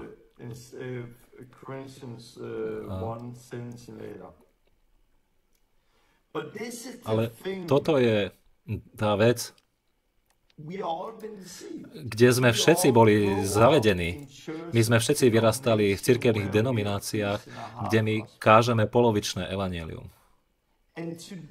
A dnes spása je ako pokánie, viera, krst vo vode, duch svetý. A už prešlo mnoho rokov a nie je to už v ten deň urobené, ako to bolo, ako to vidíme v Biblii. Ale čo sme sa tu naučili od Filipa v skutkoch 8, že odpoveď na evanielium by malo byť vždy krst. A tak, keď skončíš kázanie evanielia, a povieš im, čo teraz urobíte, tak odpoveď by mala byť, ja sa dám pokrstiť. A malo by sa to stať v ten istý deň. Ak e, pokračujeme e, do, do skutkov 9, môžeme čítať o Saulovi, kde Saulov príklad, ako on bol na ceste a videl svetlo a podobne. A my čítame, že, že Ananiáš prišiel k nemu a modlil sa za neho a, a odpadli z neho z jeho očí a znova videl a povedal, že vstal a bol pokrstený. A tak Saul bol uzdravený a priamo hneď v ten deň bol pokrstený. Jednoduché. Priamo hneď. On sa postil 2-3 dní vody, hej, trápil svoje telo, ale priamo vtedy vstal a dal sa pokrstiť.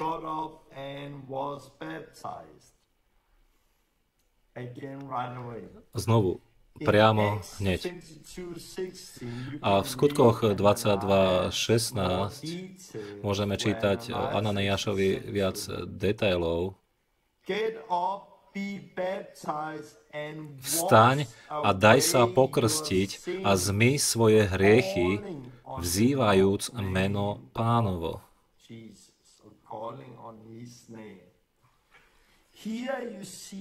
A tak tu vidíte bližšie, že keď čo sa týka modlitby hriešnikov, každý, kto vzýva meno pánovo, eh, mal by byť spasený. Ak vyznáš meno pánovo, budeš spasený.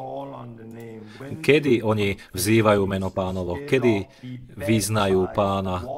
Keď sú pokrstení, keď zmyjú svoje hriechy vtedy vzývajú meno pánovo. A tak vzývať meno pánovo a budeš spasený, takto to robili, keď boli pokrstení. pri krste. A čo vidíme tu tiež v skutkoch 22.16 je, že hriechy sa zmývajú v krste. Boli ste v krste a boli pokrstení, kde vám povedali, OK, poďme, my teraz krstíme, krstíme ťa na odpustenie hriechov a teraz zmijeme tvoje hriechy. Nepočujeme to dnes. Ale tieto dve veci práve boli citované zo skutkov 2 a skutkov 22 na odpustenie hriechov a zmyť svoje hriechy. Ja hovorím len to, čo Biblia hovorí. Ak máš s tým problém, tak sa porozprávaj s autorom knihy, porozprávaj sa s Bohom o tom. On je ten, ktorý to tam napísal, nie ja. Ale je to tak zaujímavé zmyť svoje hriechy, odpustenie hriechov. Dve rôzne spôsoby tej, ako povedať, tie, tie, tú istú vec. A bolo to naozaj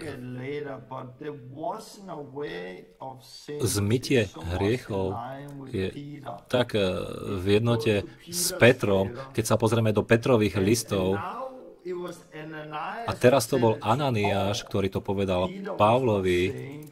Peter eh, to nehovoril, ale Peter hovoril veľmi podobne že, že voda e, symbolizuje že krst, ktorý ťa teraz zachraňuje. Nie čo ako zloženie špiny tela, ale dobrého svedomia, pýtanie sa po Bohu. A tak krst nie je odstránenie špiny tela. To nie je špina, ktorú zmývame v krste. Zmývame niečo iné. Niečo, čo ti potom dá dobré svedomie voči Bohu. A čo potrebujeme zmýť? Čo, ťa, čo ti bráni mať čisté svedomie? Tvoje hriechy. Keď sú tvoje hriechy zmyté, máš potom čisté svedomie voči Bohu. A toto je Peter a potom pozrieme sa na to neskôr. A tak, čo oni robili a, a, a verili, bolo aj to, čo učili. A my máme s tým problém. Prečo? Pretože ako voda môže zmyť hriechy? Jediný na vec, s ktorou, prečo s tým máš problém, je, že máš grécké zmýšľanie. A nie, nie je to biblické zmýšľanie. Zmýšľanie, ktoré mala prvá církev. My našim gréckým spôsobom zmýšľania sme oddelili duchovné a telesné veci navzájom od seba. Niečo je sveté a zvláštne a niečo nie. Ako to je len človečenstvo, len ľudská záležitosť. A v Biblii Boh znovu a znovu používa fyzické veci, aby súdil svet napríklad. Voda, Noé. Použil strom života. Strom života e, v raj, v záhrade bol fyzický strom, ale mal duchovný dopad a, a príjmanie alebo Eucharistia, lámanie chleba má telesný, ale má duchovný dopad. A tak vidíme, kde fyzické veci majú duchovný dopad a Boh to používa mnohokrát, aby zabil egyptianov, použil vodu, aby súdil svet, použil vodu pri Námanovi napríklad. V druhej knihe kráľov čítame, že tam bol muž, ktorý sa volal Náman, ktorý mal malomocenstvo a poslal svojho sluhu ku prorokovi a prorok mu povedal, že Náman by mal ísť a mal by sa sedemkrát ponoriť v Jordáne a že bude uzdravený. A keď to počul, tak bol akoby, nie, nie, prečo?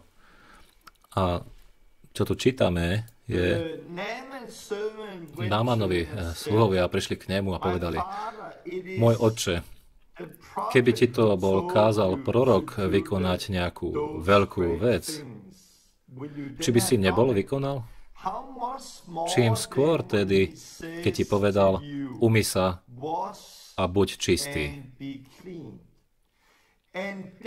A tak eh, zišiel a pohrúžil sa v Jordáne sedem ráz podľa slova muža Božieho. A jeho telo sa navrátilo zdravé, takže bolo ako telo malého chlapca, ktorý bol čistý.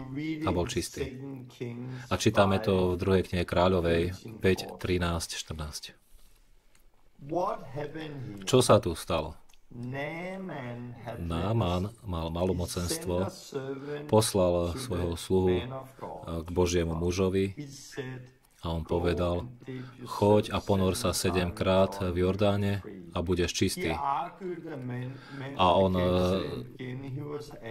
sa hneval na toho muža a, povedal, a jeho sluhovia mu potom povedali, oče, ale keby ti prorok kázal vykonať e, veľkú vec, urobil by si, tak čím skôr teraz by si sa len neumil. A tak prišiel a urobil to nakoniec. Urobil tú jednoduchú vec, ktorú mu Boh povedal, aby urobil. Aby bol ponorený, pokrstený vo vode. A keď to urobil, bol očistený od malomocenstva. Boh použil túto vodu spolu s jeho vierou a bol očistený od malomocenstva. Boh môže očistiť eh, niekoho s malomocenstvom, ktoré je obrazom hriechu v starom zákone. Vary, nemôže Boh použiť vodu v novom zákone, aby nás očistil od hriechov? Samozrejme, že môže. Samozrejme môže. A toto je to, čo on aj robí. To nie je voda, ktorá by bola nejako magická, pretože mnoho ľudí s malomocenstvom prišlo do tej istej vody aj predtým, aj potom a neboli očistení od malomocenstva. A to je problém s katolickou církvou. Oni to berú ako špeciálnu vodu, takú mystériu majú okolo toho špeciálneho kňaza. Nie, to nie je o tom. Môžeš byť eh, ponorený, pokrstený, eh, hoci v dažďovej nádobe, alebo v odpadkovom koši, vo vani, kdekoľvek. Nezáleží na tom, kde si pokrstený, ale je to tvoja viera. Tú vieru, ktorú dávaš do toho. A tak eh, tu vidíme príklad, ako s Námanom, že toto je v Biblii. Ak povieš dnes, že Boh nemôže použiť vodu, aby zmil hriech preč, tak prepač, ale robíš z Boha klamára. Máš problém potrebuješ robiť pokánie z toho.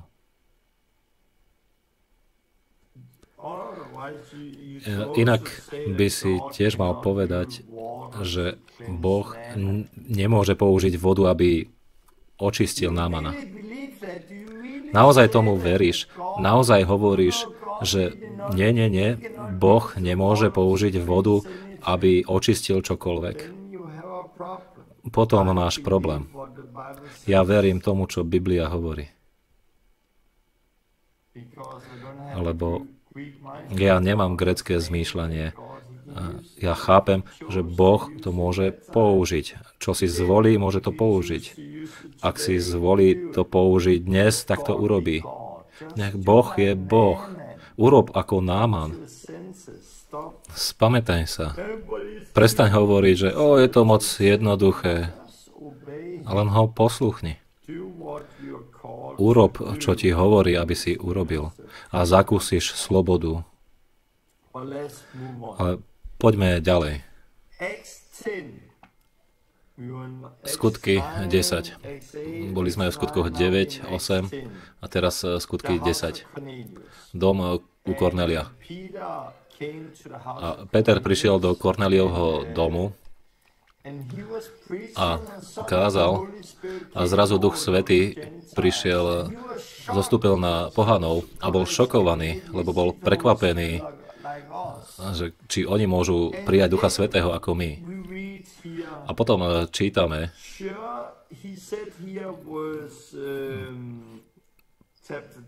povedal v kapitole 10, verš 47 či potom môže niekto zabrániť vode, aby títo neboli pokrstení, ktorí prijali Svetého Ducha, ako aj my, a rozkázal ich pokrstiť v mene pána Ježiša Krista.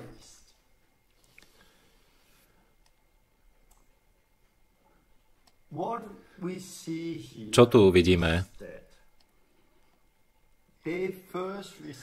Najskôr prijali Ducha Svetého a potom boli pokrstení. Je možné prijať Ducha Svetého najskôr a potom eh, byť pokrstený.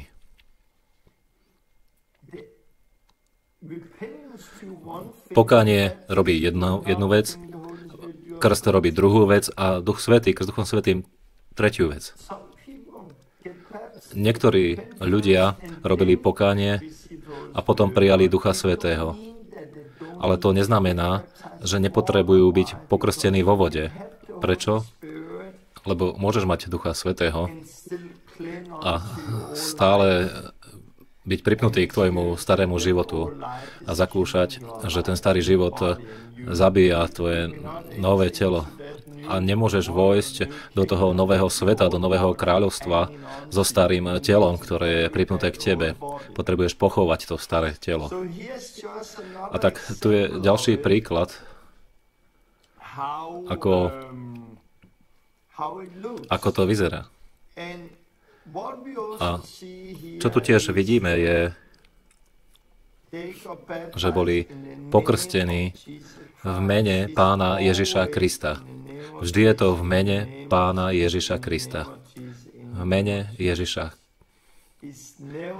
Nikdy to nie je v mene Otca, Syna a Ducha Svetého. Prečo? Prečo? Keď Ježiš povedal, choďte a robte učeníkov a krstite ich v mene Otca, Syna a Ducha Svetého, a on hovorí v mene, nie v menách. V tom mene. Čo je to meno? To meno je Ježiš meno nad všetky mená. My nevyháňame démonov, hovoriac, hej, v mene Otca, Syna a Ducha Svetého odiť. My neuzdravujeme chorých v mene Otca, Syna a Ducha Svetého. Nie. My povieme meno Ježiš. Meno nad každé iné meno. A krst, my zomierame hriechu, my to pochováme a my povstaneme znovu. To je kríž. Ježiš zom, bol ukrižovaný, zomrel, bol pochovaný a stal z mŕtvych. To bol syn, ktorý zomrel za nás. Je to meno nad všetkým mená. A to je to my robíme pokánie voči Bohu Otcovi, sme pokrstení do Ježiša Krista a príjmame Ducha Svetého. A ja si myslím, že mnohí ľudia toto neporozumeli dobre.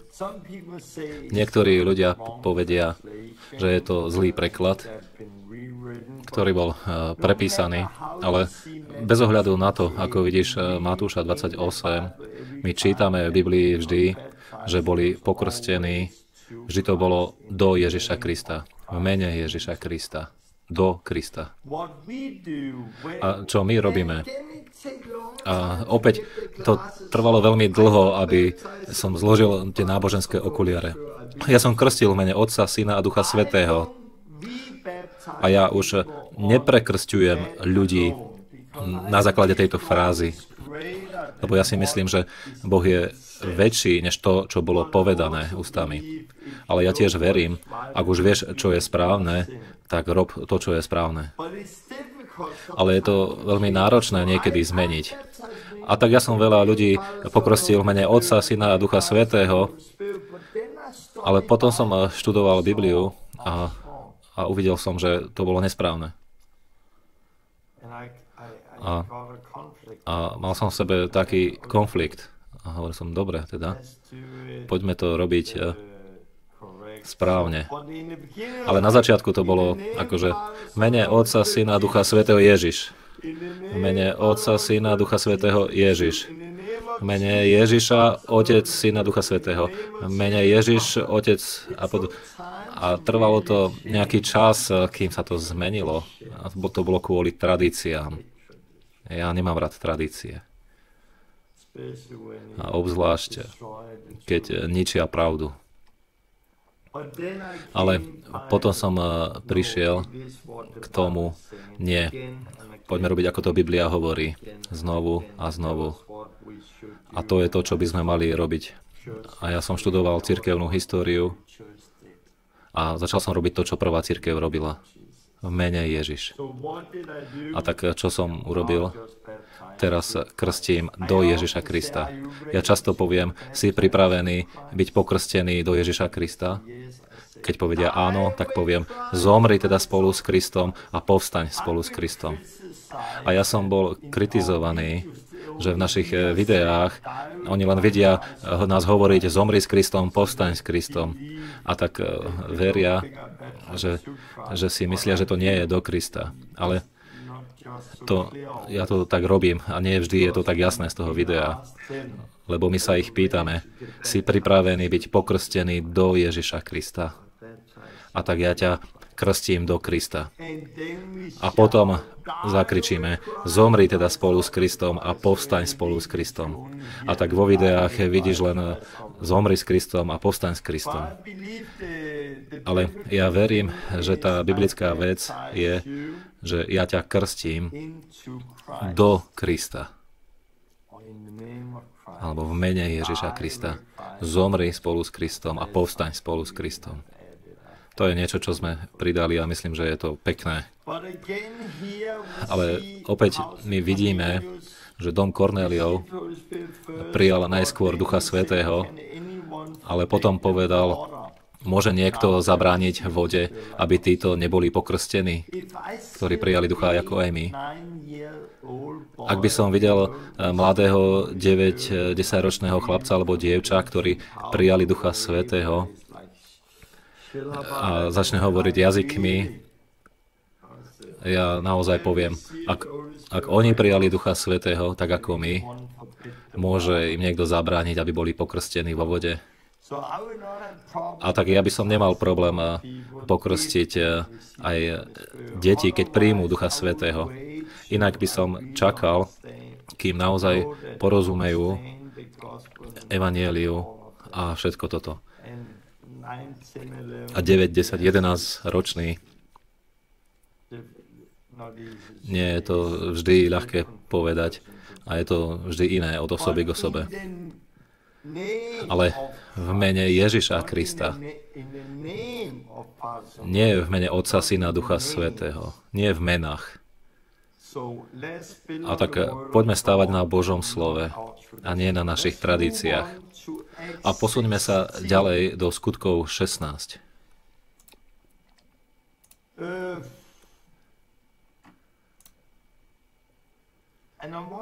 A chcem povedať, keď sa pozrieme na skutky 16, tak na každom mieste v Biblii eh, my sa pozeráme a vidíte podobné. Sú pokrstení práve hneď vtedy, v ten istý deň, vždy. A sú tu ľudia, ktorí povedia, nie, nie, nie, to nie je všade v Biblii. Niekde my o tom nečítame. Napríklad, a potom nájdú miesta, a nie je veľa miest, ale sú niektoré miesta tu. Skutky 4, 4. Ale mnohí z tých, ktorí počuli slovo, uverili a narástol počet mužov, tak asi na 5 tisíc. Ale nie je tu napísané nič viac. A tak tieto miesta v Biblii, kde nie je nič napísané, nemôžete sa domnievať a doplňať tam do toho niečo, lebo to nie je napísané. A tak nemôžete povedať, ale títo, títo neboli pokrstení. Ale mnohí z tých, ktorí počuli slovo, uverili a narastol počet. A povedia, hej, títo neboli pokrstení. Tu sa to nehovorí, že neboli pokrstení. Ani sa tu nepíše, že boli pokrstení. Tiež sa tu nepíše ani o pokáni, že by robili pokánie. Píše sa tu iba uverili. A tak e, ľudia povedia, že nemusia robiť pokánie.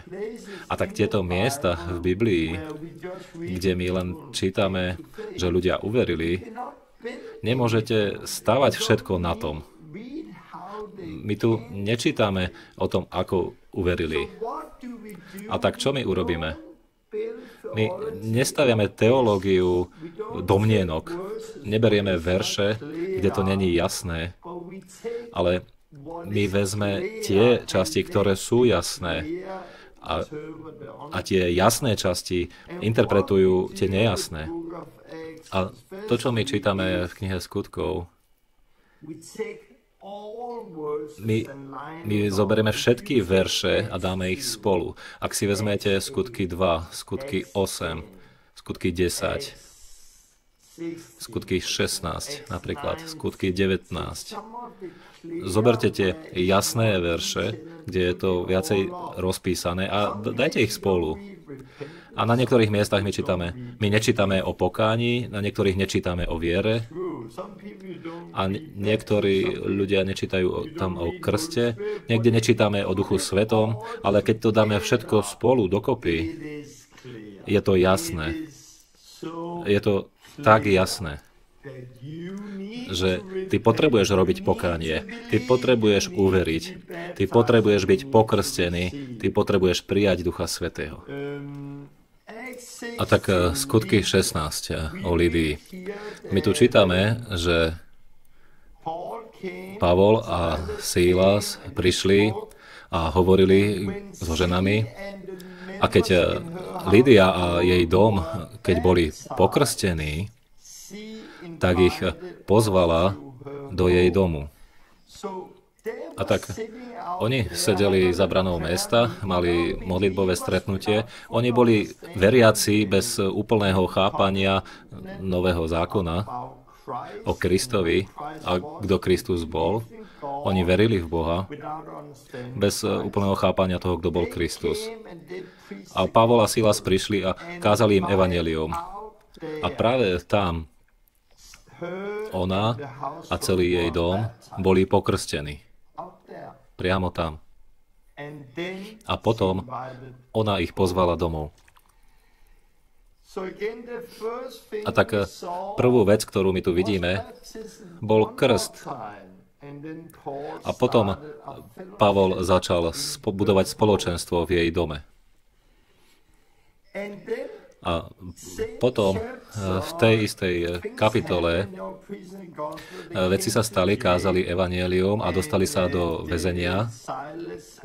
A Silas a Pavol boli vo väzení a sedeli tam vo väzení a začalo zemetrasenie a všetko to a, a prišiel tam strážnik a čítame o tom v skutkoch 16.30 a, a videl to všetko a pýtal sa ich, pánovia, čo mám činiť, aby som bol spasený? A to je dobrá otázka. Čo by sme mali robiť, aby sme boli spasení? A oni odpovedali, uver v Pána Ježiša Krista a budeš spasený, ty aj tvoj dom. A ja verím tomu. Ale Torben, ale to je proti všetkému, čo si práve povedal. Nie, nie. Musíš veriť v Pána Ježiša Krista a budeš spasený. Ale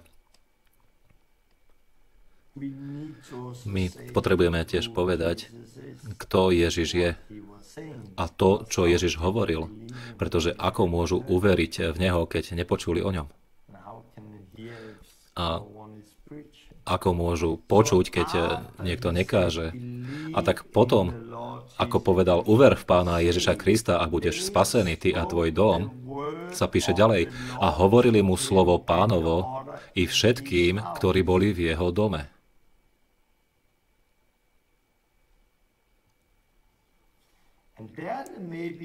A tam možno hovoril o tom, čo Ježiš hovoril o znovu zrodení. Možno hovoril, že Ježiš povedal, ten, kto uverí a dá sa pokrstiť, bude spasený. My nevieme presne, čo hovoril, ale hovoril slovo pánovo všetkým. I jemu i všetkým, ktorí boli v jeho dome. A ďalší verš hovorí, a v tú istú nočnú hodinu ich zobral a umil ich od rán a bol hneď na skutku pokrstený on i všetci jeho domáci.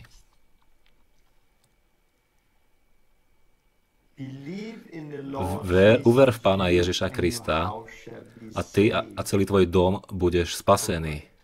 To je správne.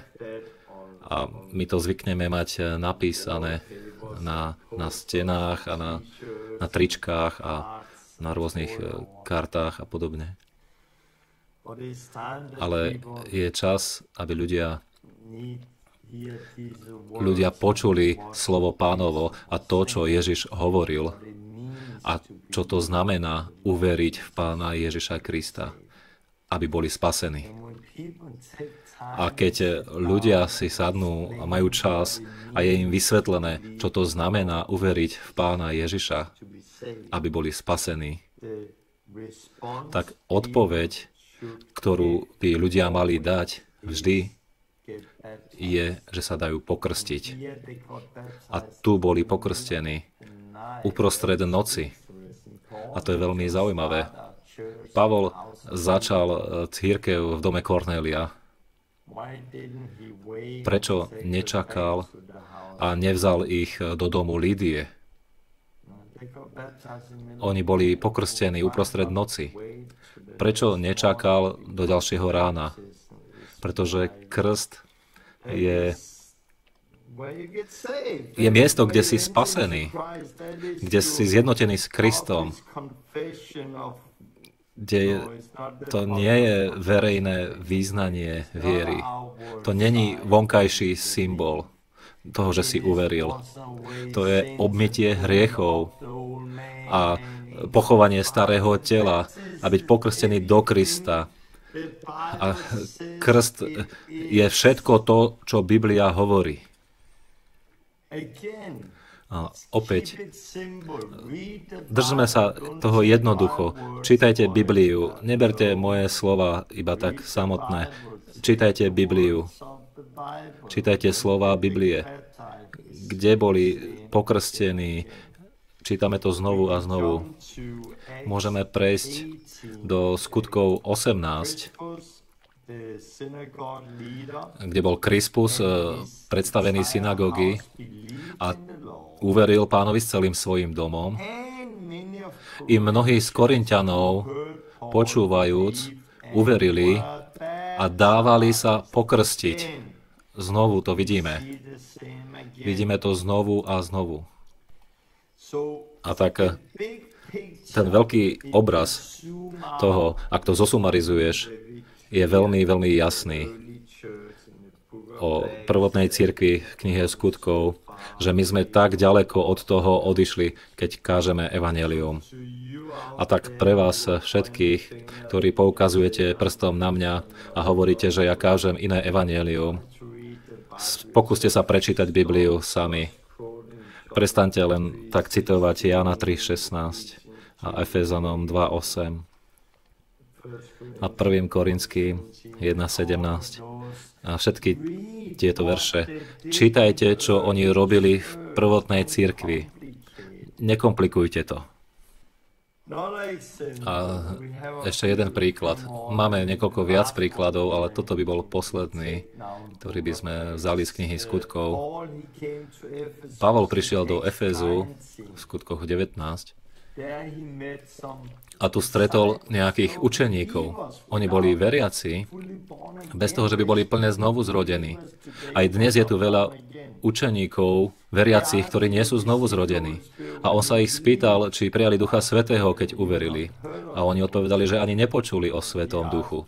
A on sa ich spýtal, tak teda akým pokr- krstom ste pokrstení? Oni povedali krstom Jánovým. A tak on im vysvetlil veci, ako sú. A potom, keď to teda počuli, dali sa pokrstiť na meno pána Ježiša Krista. Znovu, to nie je meno Otec, Syn a Duch Svetý.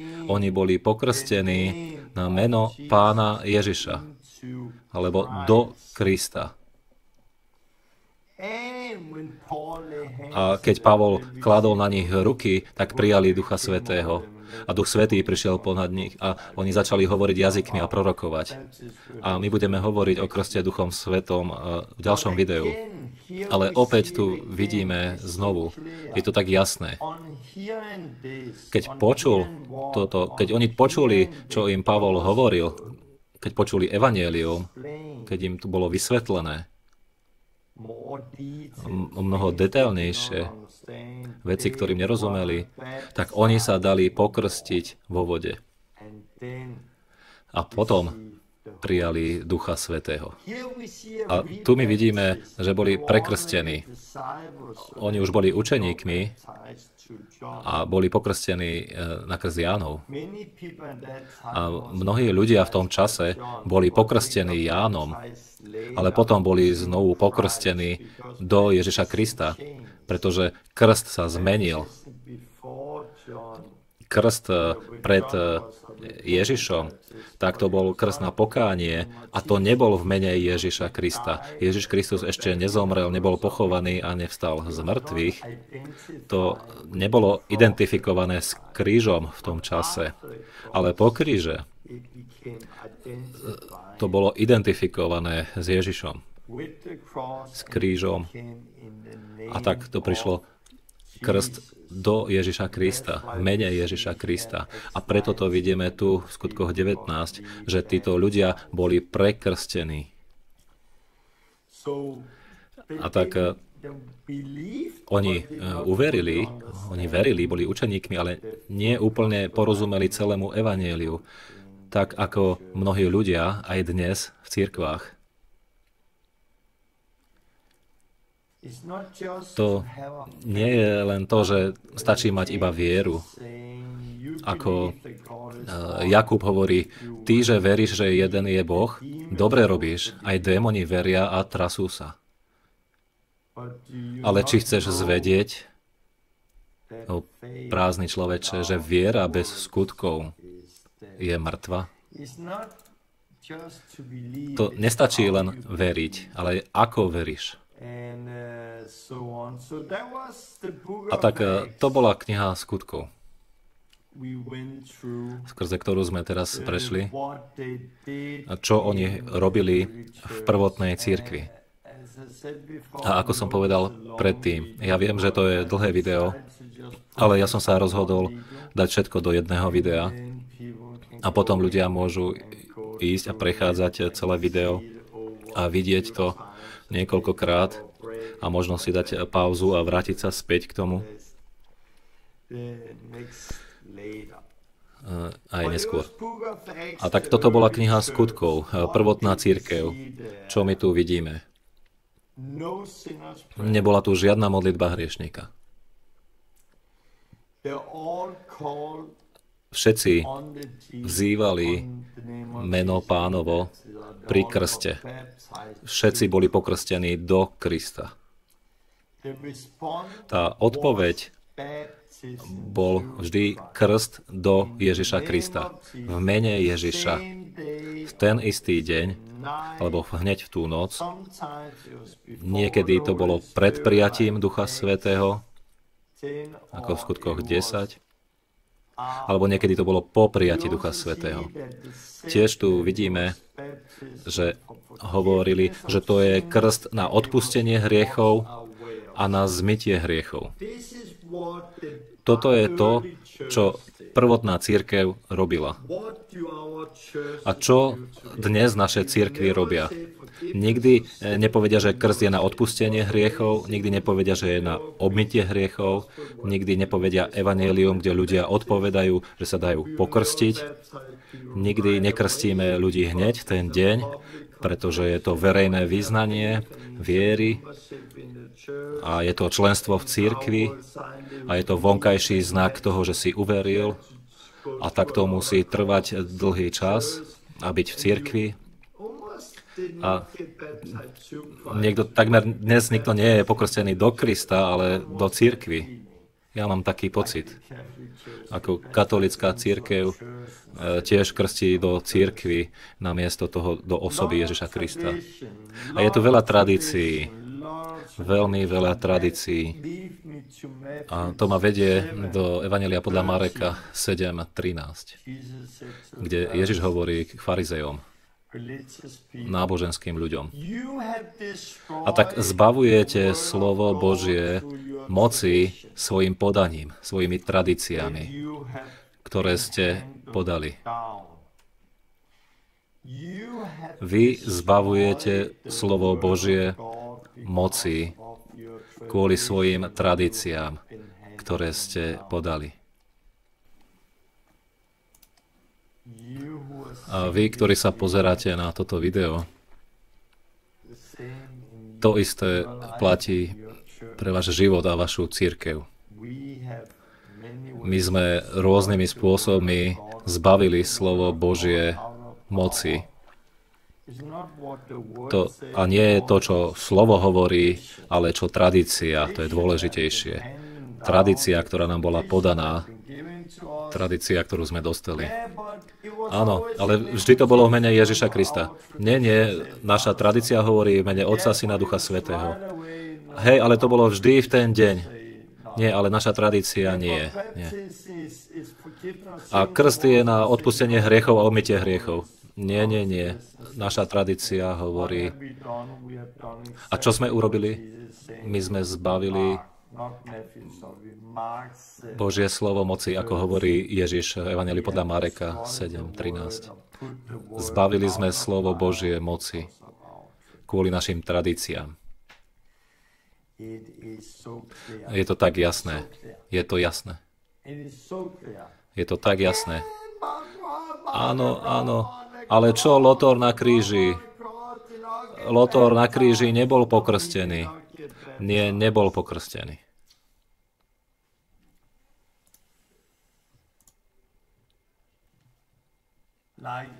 Ako každý, kto bol pred, pred krížom, neboli pokrstení do Krista. Všetci pred krížom Ježiša Krista neprijali Ducha Svetého. Lotor na kríži nebol pokrstený. Tiež neprijal Ducha Svetého.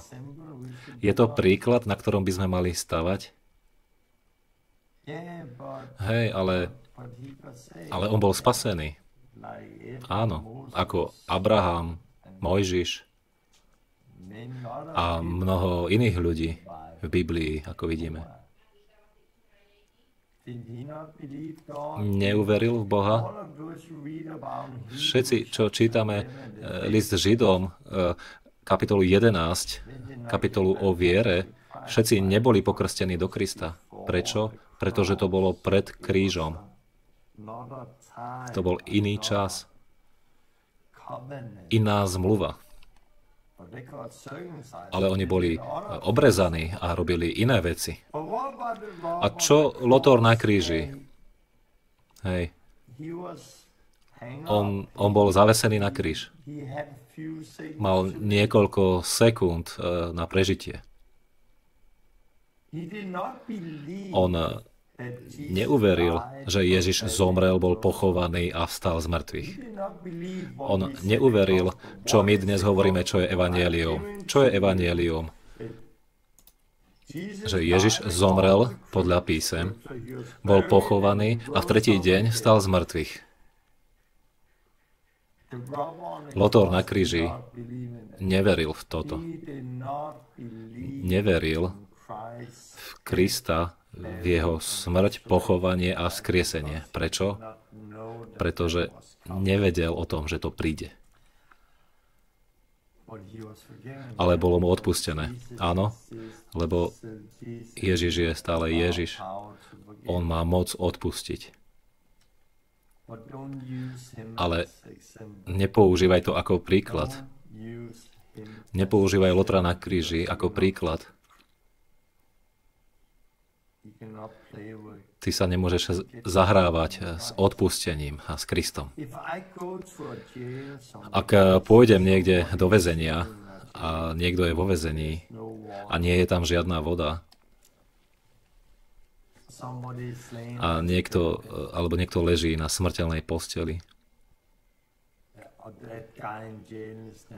A, a ten muž z väzenia nikdy nevíde už z väzenia, a zomiera, aby som povedal, volaj na Ježiša, volaj na Ježiša.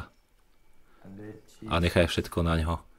a nech Ježiš urobí, čo potrebuje urobiť.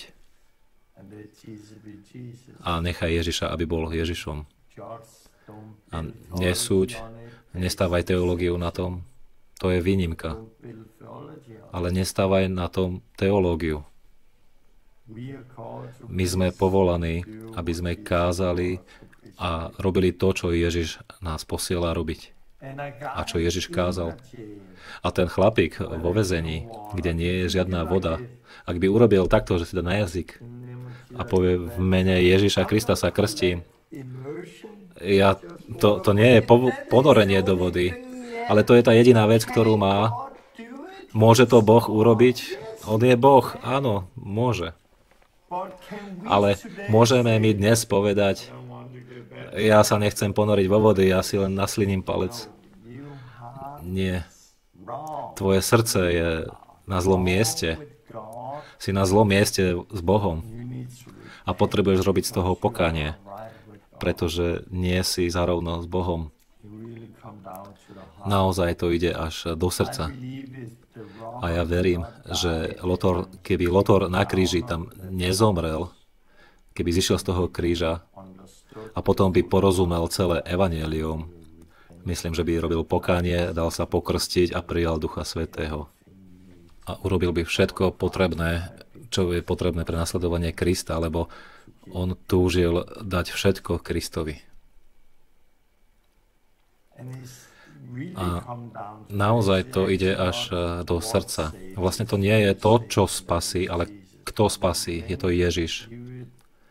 Ale on sa pozrie na mnohých a povie, čo ste robili? Voláte ma pane, pane, ale nerobíte tie jednoduché veci, ktoré som vám povedal.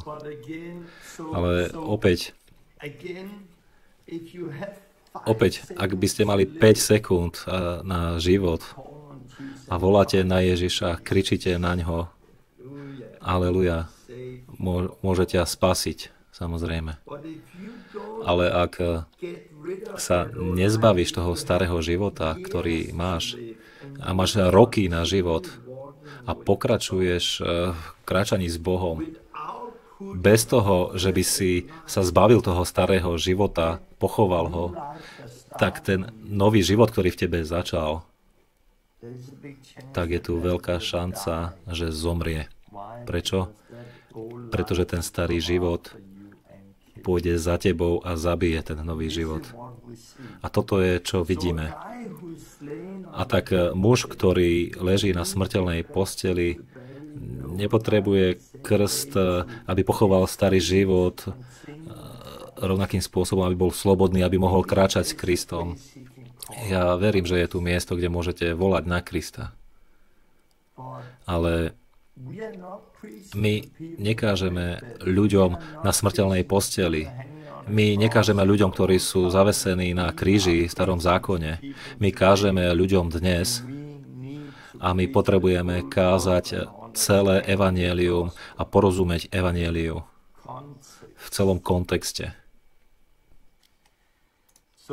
A tak eh, čo teda Lotor na kríži? Tá otázka vždy príde. A potom je tu ďalšia. Poďme sa na ňu pozrieť. 1. Korinským 1.17, kde Pavol hovorí, lebo ma Kristus neposlal krstiť, ale kázať evanelium. Halleluja. Pozri sa, Torben. Kristus ma neposlal krstiť, ale kázať evanelium. Ján 3.16, 1. Korinským 2.8, Efeským 2.8, Rimanom 10.9, 1. Korinským 1.17. To sú... Áno. Tak veľa ľudí zmiatli a nerozumejú tomu. Áno, Torben, ale tu Pavol hovorí, lebo Kristus ma neposlal krstiť, ale kázať evanielium. No a? Evanielium a krst. Krst nie je súčasťou evanielia. Ako to môžeš čítať? Ako to môžeš tam prečítať v tom texte? A obzvlášť, keď to čítaš v celom kontexte.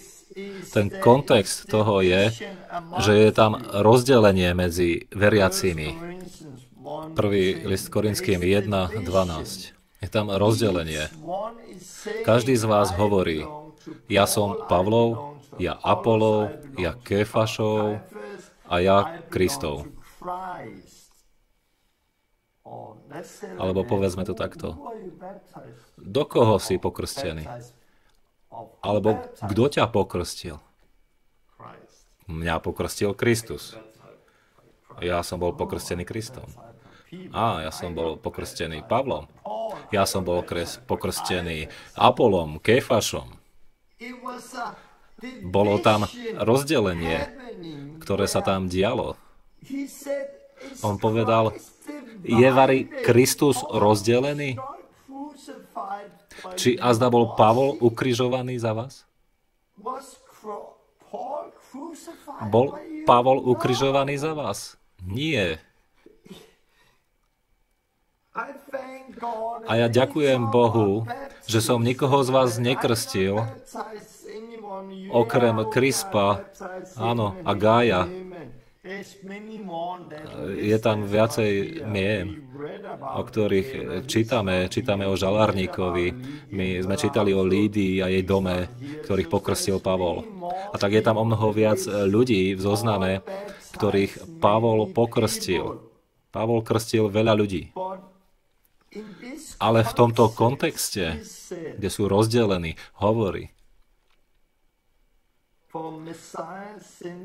lebo Kristus ma neposlal krstiť, ale kázať evanelium. Povedal to im v tomto kontexte. A kedy? Kedy bol žalárnik? No, pokrstil žalárnika? Áno. A čo Lidia a jej dom? Áno, pokrstil. A čo ďalší ľudia? Áno, ty ich krstil. Ale v tomto kontexte hovorí toto, lebo oni boli rozdelení.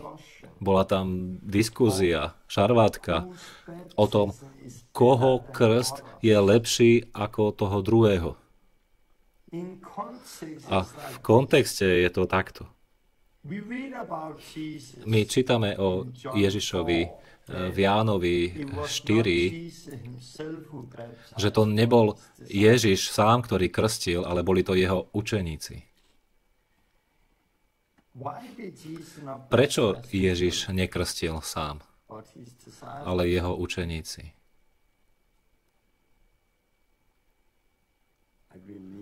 Ja verím, že ja neviem. Ale mohlo by to byť ako, ako Pavol. Pavol nekrstil sám, ale bol čas, kedy iní ľudia krstili. Prečo? Pretože by nemali diskuziu o tom, koho krst je lepší. Hej, ty si bol pokrstený môj krst je lepší než tvoj. Ja som bol pokrstený Pavlom. Ó, nie, ja som bol pokrstený Petrom. Nie, nie, nie, hej. Ja som bol pokrstený Ježišom. Á, nerozprávaj. Hej? Oni sa zamerali na to, že koho krstom sú krstení. A to je ten kontext, v ktorom bolo napísané, a ja používam tieto verše často v kontexte. Keď ľudia prídu za mnou a povedia, Torben, ja som práve počul evanielium. Ó, úžasné. Torben, ja potrebujem byť pokrstený. Amen. A ja chcem, aby si ty mňa pokrstil. Ja potrebujem, aby si to bol ty, kto ma pokrstí. Ja? Nie. Prečo? O, je to tak dôležité, aby si ty mňa pokrstil, Torben. A vždy, keď eh, toto ľudia povedia, Torben, ty ma musíš pokrstiť, ja poviem nie. Nie. Kristus ma neposlal krstiť, ale aby som kázal evanelium. Znamená to, že nebudú pokrstení? Áno, ale budú pokrstení, ale tak ako Ježiš nechal svojich učeníkov, ja nechám ďalších ľudí, aby ich pokrstili. Prečo? Pretože to nie, nie je o mne. To nie je o tom, kto krstí, ale je, je to o tom, do koho si pokrstený. Do Krista. A ja rozumiem Pavlovi, keď ľudia diskutujú takto, ja by som povedal, OK, OK, ak ja som skončil s krstami, ja už viacej nebudem tu nikoho krstiť. Ja nie som poslaný, aby som krstil. Ja som poslaný, aby som kázal evanelium. A to neznamená, že nebudú tí ľudia pokrstení. To znamená, že iní ľudia budú robiť krst. Budú krstiť. Ale ľudia vezmú tento jeden verš a všetko ostatné, všetky tie verše v knihe skutkov, ktoré sme videli a ktoré ešte uvidíme, všetko je vyhodené. Akoby. 19 veľmi jasných príkladov v Biblii Ježišové slova samotné, že ten, kto uveria, bude pokrstený, bude spasený. Všetko je zrazu vyhodené, lebo jeden verš, ktorý je vyňatý z kontextu.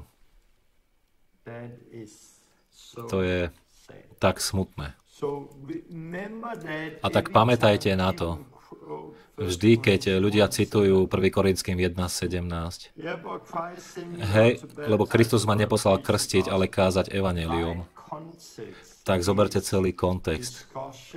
Celú tú diskuziu o tom, kto bol do koho pokrstený. A kde hovorili, že jeden krst je lepší ako druhý, lebo ten ma pokrstil a nie ten, a ten ma pokrstil tam. Čítajte v kontexte. Ježiš tiež nekrstil. Jeho učeníci krstili. A ako čas išiel a Pavol rástol, tak možno krstil menej a menej ľudí a nechal ostatných ľudí krstiť. A podobne ja robím na kickstartoch, na stretnutiach. Často to robím. Nechám viacerých ľudí krstiť. A obzvlášť nekrstím sám. Prečo? Pretože nechcem, aby ľudia utekali a hovorili, hej, hej, Torben ma pokrstil. A tak dúfam, že rozumiete tomu. A tradície. Tradície.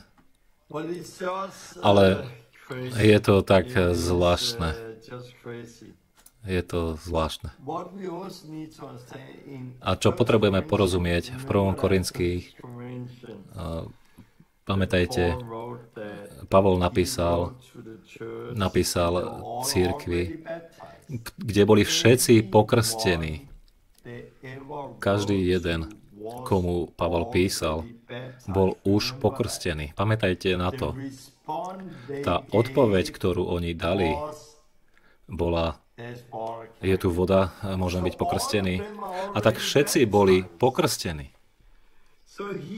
A tak nikdy nenapísal list do církvy, kde neboli pokrstení ľudia.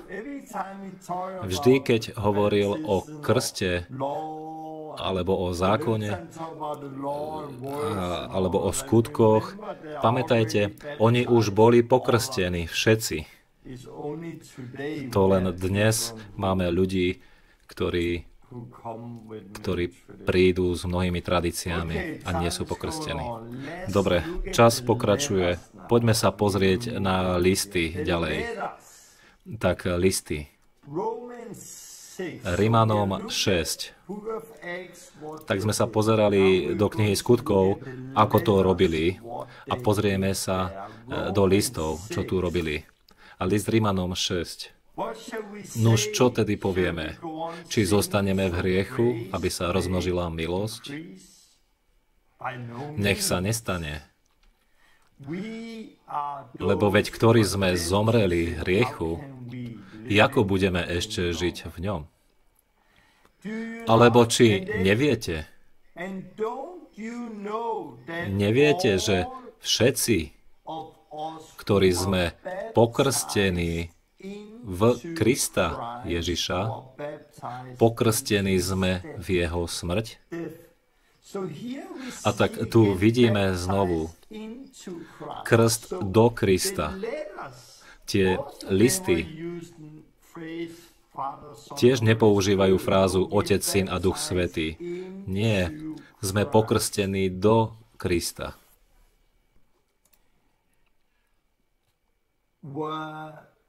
My sme pokrstení do jeho smrti. A tu my vidíme, že krst je teraz do smrti. Krst Jana Krstiteľa bol krst na pokánie. To nebolo do smrti Ježiša, pretože ešte vtedy nebola žiadna smrť Ježiša. A potom celá kapitola tu je o slobode od hriechu. Verš 6. Pohrobení sme tedy s ním skrze krst v smrť. A tak tu vidíme slovo pochovaný byť s ním, ktoré je spojené s krstom. A krst je teda pohreb. Pohreb starého života. A tak my sme pohrobení, pochovaní s ním skrze krst do smrti. Aby sme, ako Kristus vstal z mŕtvych slávou Otcovou, tak aj my chodili v novote života. Lebo ak sme sa stali spolu zrastlými v jeho smrti, a to všetko sa tu hovorí o krste, a potom je to o tom, že my vieme, že náš starý človek bol ukrižovaný spolu s ním. A potom vidíme, že teraz sme mŕtvi hriechu. Tak toto všetko hovorí o krste. Je to súčasťou tej istej kapitoly. My sme boli pokrstení do Ježiša Krista. My sme boli pokrstení do jeho smrti. My sme pochovaní spolu s ním, aby sme ako, aby sme ako Kristus stal z mŕtvych a aj Boh nám dal nový život. To je tak silné. A keď som čítal list Rímanom 6 a prišiel som eh, k veršu 14, bol som slobodný. Porozumel som, čo krst je a to ma vyslobodilo. Krst je pohreb starého života. Je to pohreb toho starého života, toho života, ktorý je otrokom hriechu. Biblia hovorí, ten, kto robí hriech, je otrokom hriechu. A ja som bol otrokom hriechu. Ja som robil pokánie, dostal som nové srdce. Aleluja. Ja chcem robiť to, čo je správne. Prečo? Pretože som dostal nové srdce. A všetko bolo napísané v mojom srdci. Ale ja som potreboval pochovať ten starý život, ktorý bol otrokom hriechu. Ja som sa snažil robiť, čo bolo správne, ale nemohol som. A čím viac som zápasil, tým viac som strácal. A ja som sa snažil žiť. Na začiatku som ja mal niekoľko rokov, ktoré boli dobré, ale ten starý život začal sa vkrádať opäť do mňa. Ten starý život e, spôsoboval, že som začal znovu hrešiť. Začal som zapásiť a cítil som, že nie som slobodný, že som neprekonal, že, že ten hriech ma prekonáva, lebo som bol otrokom. A, a potom eh, prišiel krst, a kde som to pochopil a porozumel, že o, v krste ja som pochoval ten starý život a je teraz mŕtvy. Ako ja často používam ten obraz, keď robíš pokánie, keď eh, ukrižuješ to staré telo, nový život začne vnútri. Ale to telo okolo je mŕtve. Ale my nesieme to mŕtve telo stále na nás. Nie, my to nepotrebujeme nosiť na nás. My to potrebujeme zložiť z nás. A to je miesto, kde je, má krst miesto. Je to pohreb toho starého života ako Izraeliti. Opäť, oni boli spasení von z Egypta, ale ten starý život je stále tam. Ich prenasledoval. A keby nepochovali ten starý život skrze krst do Mojžiša, tak ten starý život po krátkom čase by prišiel a zabil by ten nový život, ktorý začal. A veľa ľudí prichádza do cirkvy a začnú nový život, ale potom zomru. Neprídu do zasľúbenej zeme. Nemôžu vojsť dnu. Prečo? Pretože potrebujú byť eh, spasení znovu. Spasení, boli spasení, sme spasení, ale ten, ktorý vydrží až do konca, bude spasený. A tak eh, list Rimanom 6 eh, hovorí, že je to pohreb starého života. A opäť sme pokrstení do Ježiša Krista, do jeho smrti. A list Galackým, na ktorý sme sa pozerali predtým, lebo všetci sme synmi Božími skrze vieru v Kristu Ježišovi. Lebo všetci, ktorí ste pokrstení do Krista. Krista ste si obliekli. A tak sme si obliekli Krista. A tak v krste sme si obliekli Krista. V krste my pochováme starý život.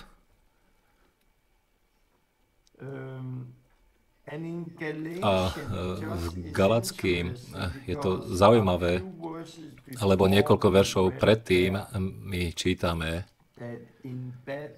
že v krste sme všetci uh, synmi Božími skrze vieru. pre všetkých nás, ktorí sme pokrstení v Krista. Krista sme si obliekli. A niekoľko veršov predtým my čítame toto. Ale vediac, že sa človek neospravedlňuje zo skutkov zákona, ale skrze vieru v Ježiša Krista, aj my sme uverili v Krista Ježiša, aby sme boli ospravedlnení z viery Kristovej a nie zo skutkov zákona. Pretože zo skutkov zákona nebude ospravedlnené niektoré telo. A ja tomuto verím. Ale on tu nehovorí eh, proti krstu, on tu hovorí proti zákonu Mojžišovmu. Lebo kedy, kedy sme v Kristovi, keď sme boli pokrstení v Krista, hovorí to o niekoľko veršov ďalej, keď sme si obliekli Krista. A je to tak tak zvláštne, lebo ľudia môžu čítať list Galatianom 2.16, ale vediac, že sa človek neospravedlňuje zo skutkov zákona, ale iba skrze vieru Ježiša Krista. Pozri sa na to. Takže by si nemal byť pokrstený. Nemal by si sa dať pokrstiť. To sú skutky. A potom niekoľko veršov ďalej, v tom istom liste, v tom istom liste hovorí, lebo všetci sme synmi Božími skrze vieru. Všetci, ktorí sme boli pokrstení do Krista. Prečo? Pretože v krste sme si Krista obliekli. Obliekli sme si Krista v krste.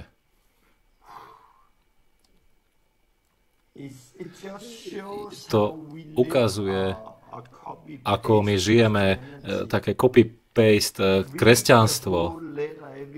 Čítajte celý list, vždy. Vždy čítajte celý list. Veľa ľudí, ktorí hovoria, že ja kážem iné evanelium, alebo my kážeme iné evanelium,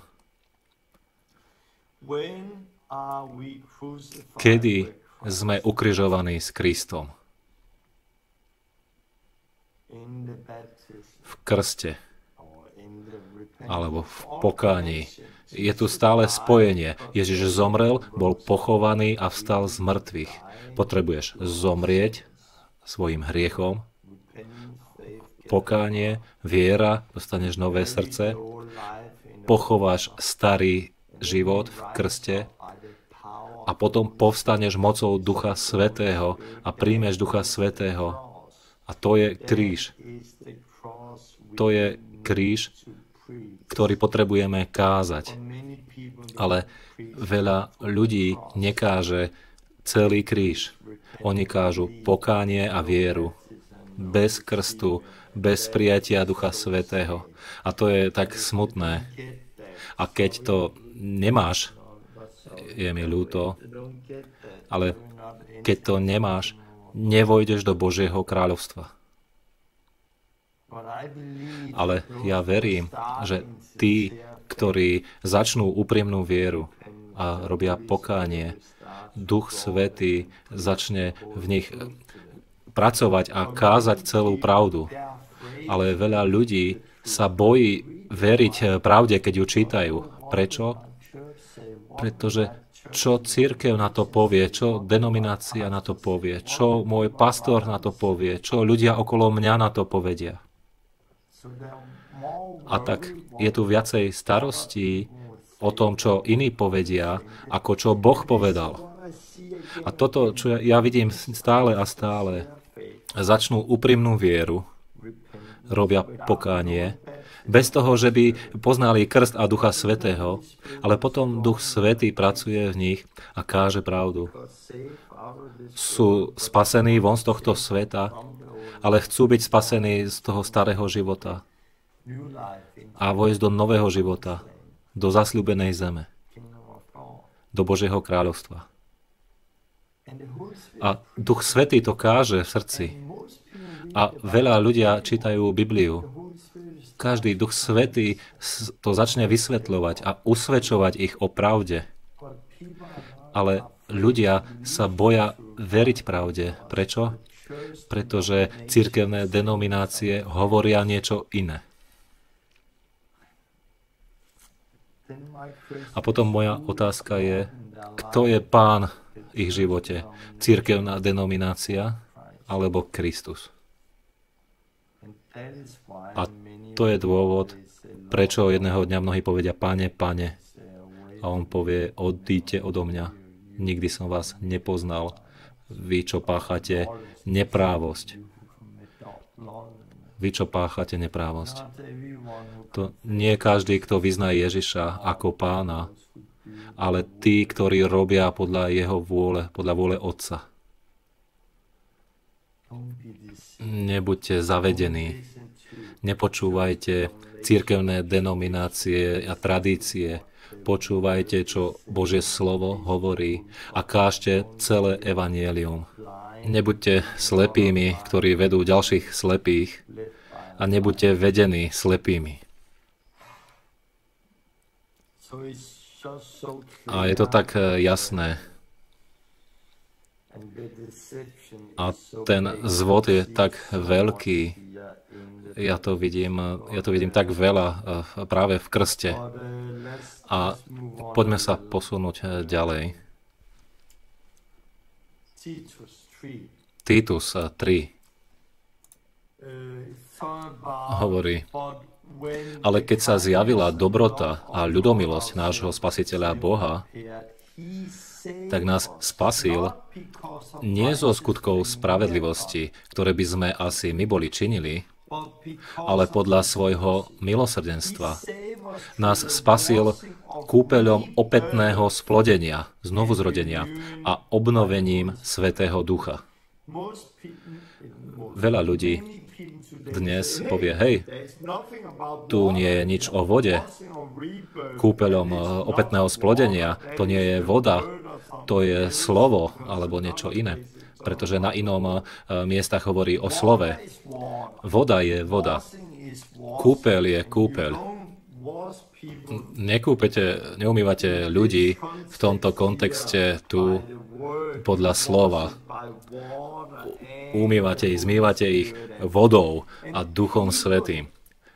A ľudia, ak uh, sa pozriete a zoberiete si Strongov slovník, tak je to kúpeľ, vodný kúpeľ, ako od slova kúpať sa.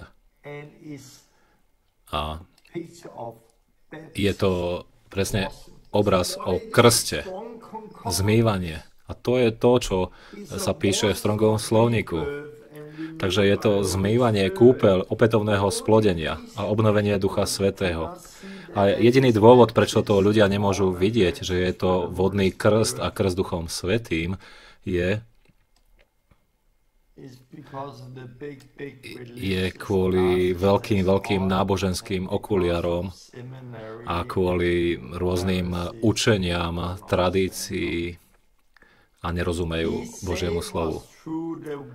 On nás spasil kúpeľom opätovného splodenia skrze vodu a obnovením Svetého Ducha. Kúpeľ vodou je znovu zrodenie. Je to krst, ktorý nás spasí zo, z hriechov a je tu obnova skrze Svetého Ducha. Je to tak jasné, ale opäť tradície, samé tradície. A tak eh, toto sú eh, základy v liste Židom 6. Základy pokánia z mŕtvych skutkov, viera na Boha, učenia o krstoch, o skladaní rúk, čiže pokánie, viera, krsty, skladanie rúk o Duchu Svetom. To všetko je v liste Židom ako základy a chceme sa posunúť ďalej. Ja viem, že to je veľmi dlhé video, niekoľko hodín, ale môžete si to pozastaviť a pokračovať neskôr, ale verím, že si to celé pozriete. Ježiš nás spasil nie kvôli spravodlivým skutkom, ktoré sme spravili, ale spasil nás skrze, skrze kúpeľ opätného splodenia, čo je krst a obnovením Svetého Ducha. Takže nás spasil z čoho? Z našich hriechov. A poďme sa posunúť ďalej.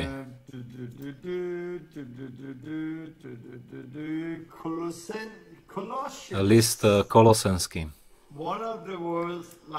Jeden posledný verš z listu Kolosenský. Dva. Veľmi mocný. Kolosenským 2, verš 11, v ktorom? V Kristovi ste aj obrezaní obriezkou, neučinenou rukou, ale celý vo zlečení tela hriechov ľudského tela ste boli obrezaní v obriezke Kristovej. Súd s ním spolu pohrobený v krste, čiže pohrobený v krste, v ktorom, totiž v Kristovi, ste aj spolu vstali z mŕtvych skrze vieru pôsobenia Boha, ktorý ho vzkriesil z mŕtvych veľmi silné slova. Uh, vysvetlím. V ňom, v Kristovi, sme boli obrezaní. Ale nie ľudskou rukou, ako v starom zákone. Tu bola obriezka predkošky. Odrezali predkošku v starom zákone a nie v novom zákone to tak nie je. V tom čase obrezovali predkošku ľudskou rukou a teraz to nie je len predkoška, ktorá bude obrezaná, ale teraz to bude celé ľudské, celé telo hriechov, ktoré je nečisté kvôli hriechu. To musí byť obrezané. Ale obriezkou ktorá je urobená Kristom. A kedy je táto obriezka urobená Kristom? Keď sme s ním spolu pochovaní v krste, čiže v krste, kde sme zvliekli ten starý život, sme pochovali ten starý život, to je naša obriezka Kristom. Aleluja.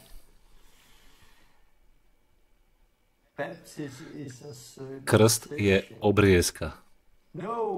Nie, my by sme nemali byť obrezovaní na tele. My by sme mali byť obrezaní v krste. A tak celá tá vec, hej, hej, nechoď eh, pod zákon, nedávaj sa obrezovať, ja s tým súhlasím. My sme pod novou zmluvou kde potrebuješ byť pokrstený. A tu je obriezka nie len na tvojej predkoške, ale celé telo hriechov. A čo musíte porozumieť, tak stará zmluva, ktorá bola daná Abrahamovi o viere, bol tu znak a to bola obriezka. A dokonca, keď to bol len znak, tak to je veľmi vážna vec. Nebol to len symbol. Znak nie je symbol. Ty vlastne čítaš v zákone, že tí, ktorí neboli obrezaní, mali by byť zabití. Mali by byť zničení. Tí nepatrili k ľuďom, k ľudu Božiemu, keď neboli obrezaní. Bolo to skrze vieru, ale obriezka bola znakom, ktorú potrebovali urobiť, ináč budú odstrihnutí, keď nebudú obrezaní. Priamo preč. A to bolo tak vážne, že Boh vážne sa snažil zabiť Mojžiša alebo jeho syna, záleží od prekladu, ako to vezmete. V Exoduse 4 čítame, kde Mojžiš a stalo sa na ceste v noclažišti, že sa s ním stretol hospodin a hľadal ho zabiť. V tom kontexte mohol by to byť Mojžiš, ale mohol by to byť aj jeho syn. Ale vtedy jeho žena Cipora vzala nôž, alebo kameň ako nôž, a odrezala neobriezku predkošku svojho syna a vrhla ju k jeho nohám. A potom povedala, čo povedala, a potom ich Boh nechal tak, ako sú. Prečo? Pretože Boh e, je veľmi vážny v tom, čo povedal. Že potrebujú obrezať predkošku. A Boh je veľmi vážny v tom, čo povedal. Berie to vážne. My by sme nemali teraz obrezovať našu predkošku, my by sme mali obrezať celé naše telo v krste. To je naša obriezka, ktorú urobil Kristus. Veľmi silné slova sú to. Ako môžeš z toho urobiť záver, že krst je len vonkajší symbol vnútornej viery? Že krst je len členstvo v církvi? nejaké verejné vyznanie, že je to len symbol. Ako, ako môžeš vôbec čítať Bibliu o krste, tie verše tu a prísť k záveru, pretože mnohí ľudia nevenujú čas a nečítajú Bibliu. Oni počúvajú len, čo cirkevná história povedala a žijú tak. A opäť byť s ním pochovaný. Krst je naozaj súčasťou spásy. Krv Ježiša nás vyslobodí von z Egypta a krst je pochová ten starý život. A my ho potrebujeme. My potrebujeme aj Ducha Svetého, aby sme boli raz svetí, navždy svetí a budem hovoriť o tom neskôr. My sme boli spasení, my sme spasení a budeme spasení. Ale my potrebujeme vojsť do zasľúbenej zeme. My ešte tam nie sme. My potrebujeme vojsť do Božieho kráľovstva. A my ešte tam nie sme. Ježiš povedal, aby sme pokračovali, aby sme vošli do Božieho kráľovstva. On hovoril, robte pokánie, robte pokánie a verte. A potom vyučoval, že ty, ktorý chceš vojsť do Božieho kráľovstva, potrebuješ byť znovu zrodený z vody a z ducha. On to učil. Prečo to neurobil vtedy? Pretože ešte nemohol krstiť ľudí do Krista, kde by zomreli spolu s Kristom a povstali s Kristom, ako dnes. Nemohol ľuďom dať Ducha Svetého, kým ešte kráčal na zemi. Prečo? Pretože ešte tu bol čas starej zmluvy. Ale po kríži, keď eh, vystúpil do neba, keď poslal Ducha Svetého, tak pokánie, ktoré kázal, krst z vody a z ducha, prišiel spolu v jednote na letnice, keď Peter prvýkrát kázal, kázal, rob pokánie, daj sa pokrstiť a príjmi Ducha Svetého. A to je to, čo my vidíme skrze celú knihu skutkov. Ale eh, list Kolosenským 2.11 je, je úžasný. A ešte tu mám jeden. Myslím, že je to v poriadku. Jeden ešte vám dám. Prvý Peter 3 hovorí, ako Kristus trpel za naše hriechy A potom hovorí, ako Noé postavil koráb a ako len niekoľko ľudí, 8, bolo zachránených skrze vodu. A potom hovorí, že tá voda je ako protiobraz krstu, ktorý nás teraz zachraňuje.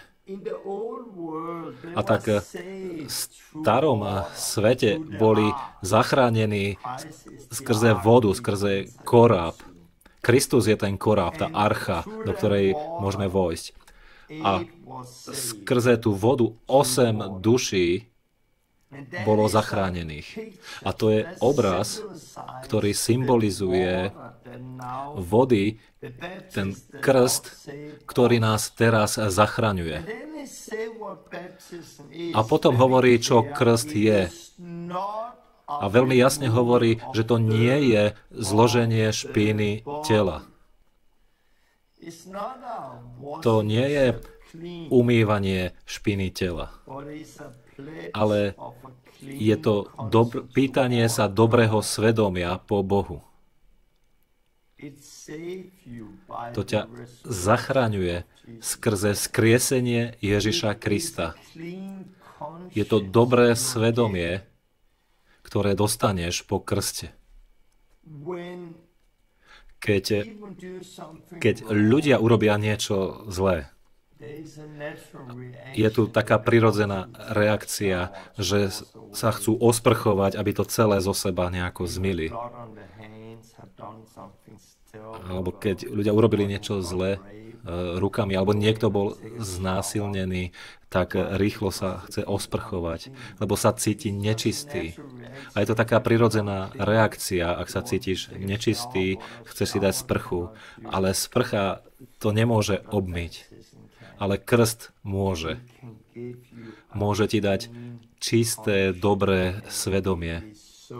A to je tak, tak eh, úžasné. Je to úžasné.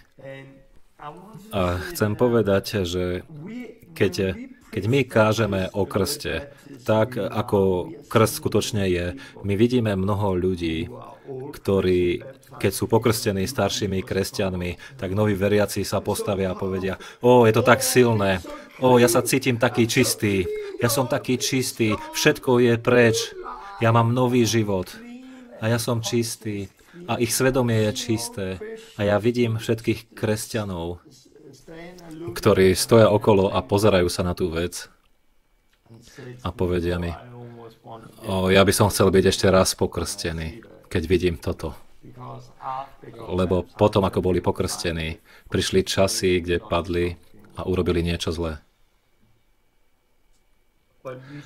Ale to nie je o tom, aby sme boli pokrstení znovu a znovu. Je tu len jeden krst.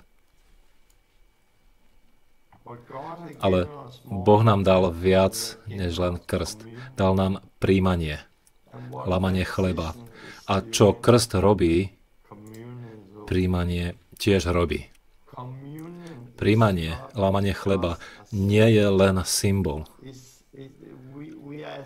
My sme takí slepí, čo sa týka príjmania. Tak ako sme slepí, my boli pri krste.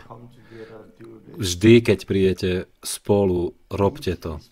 Jedzte jeho telo a píte jeho krv. Nie opäť tým katolickým spôsobom, ale iným spôsobom. Je to rovnako ako pri krste. Idete z jedného zvodu do úplného opačného konca zvodu. Ja neverím v katolický spôsob príjmania, ale ja neverím ani v protestantský spôsob príjmania vôbec. My sme prešli z jedného konca úplne na druhý. Nejdem teraz do toho, aby som to vysvetlil, ja mám už urobené video o tom a dám linku na toto video v online vyučovaní školy priekopníkov, vyučovanie číslo 28 v našej online škole priekopníkov. Mám celé vyučovanie o príjmaní a budem hovoriť o tom. A pozrite si to.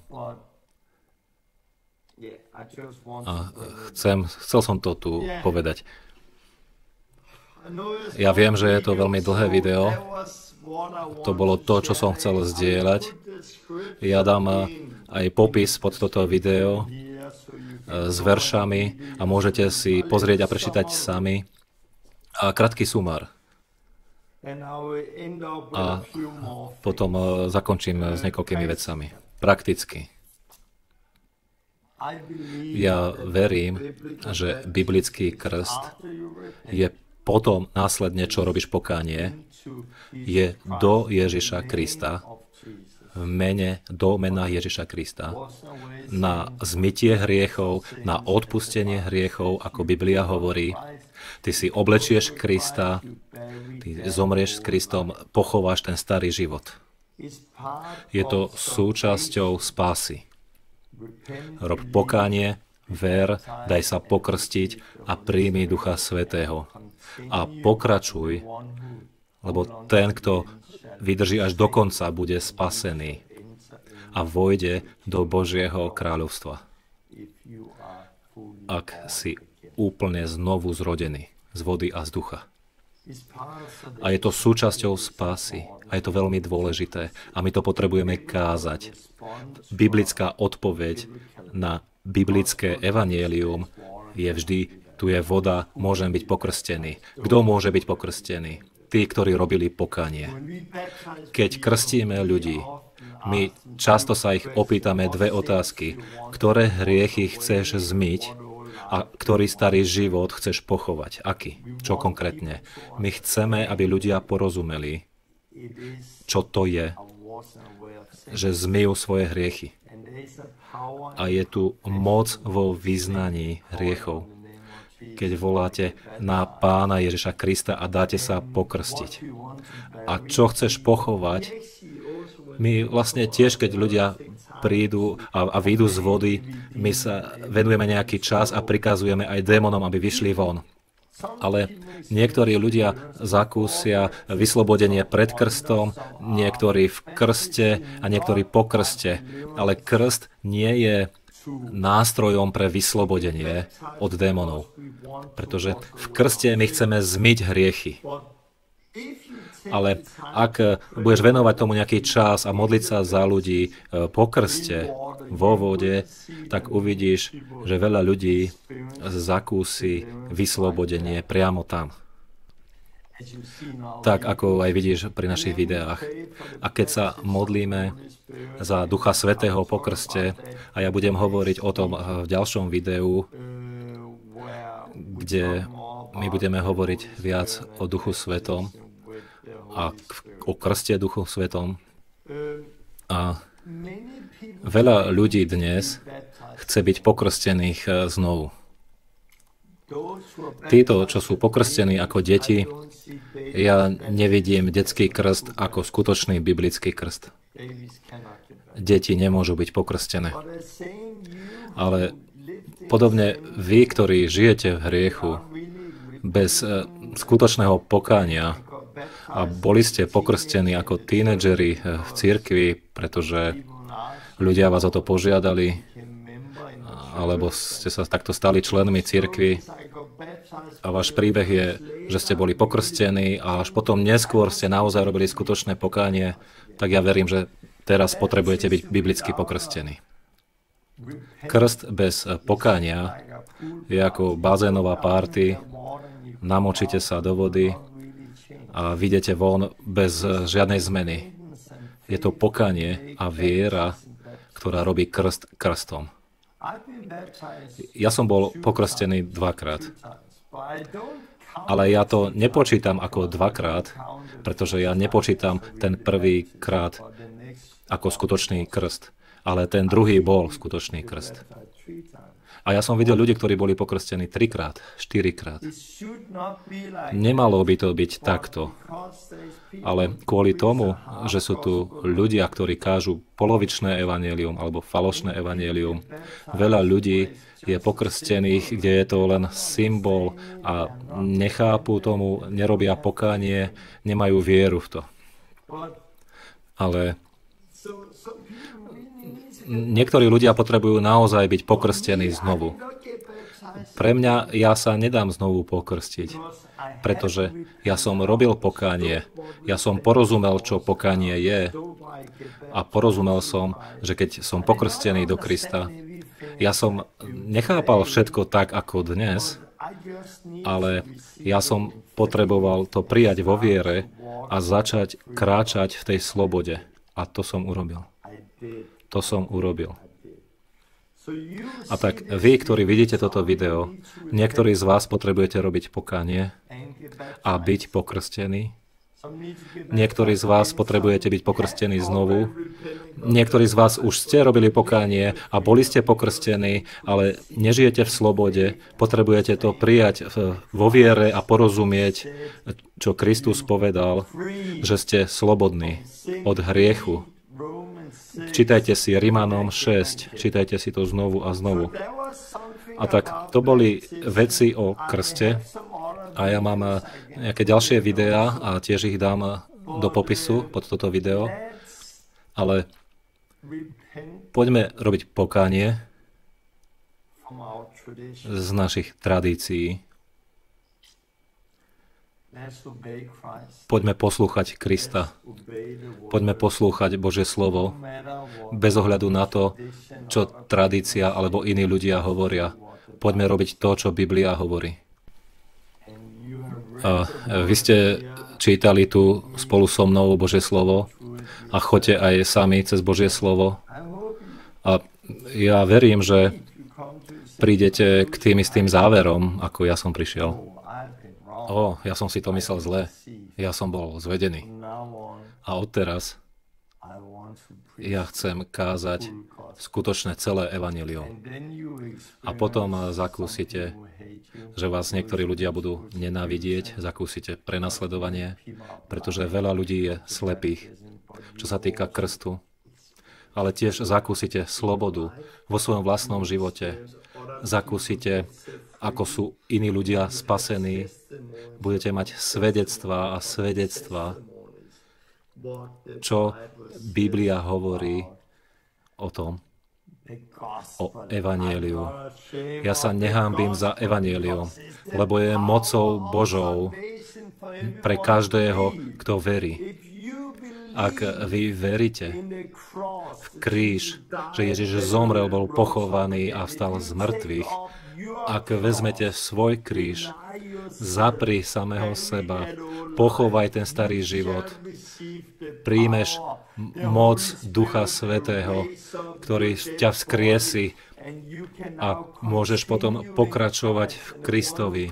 A ten, kto pokračuje až do konca, bude spasený a vojde do zasľúbenej zeme, do Božieho kráľovstva.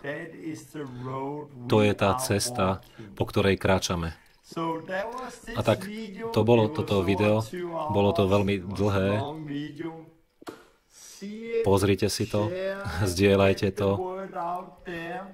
čítajte Božie slovo, pozrite si popis k videu, linky na iné videá.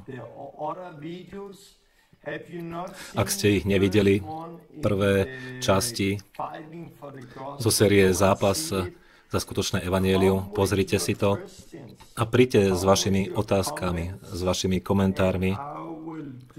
A ja urobím video na budúce o krste Duchom Svetým.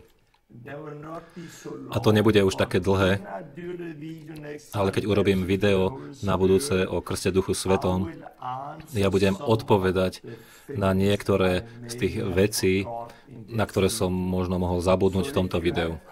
A tak ak máte nejaké komentáre, otázky alebo argumenty, ja som pripravený zápasiť za skutočné evanielium.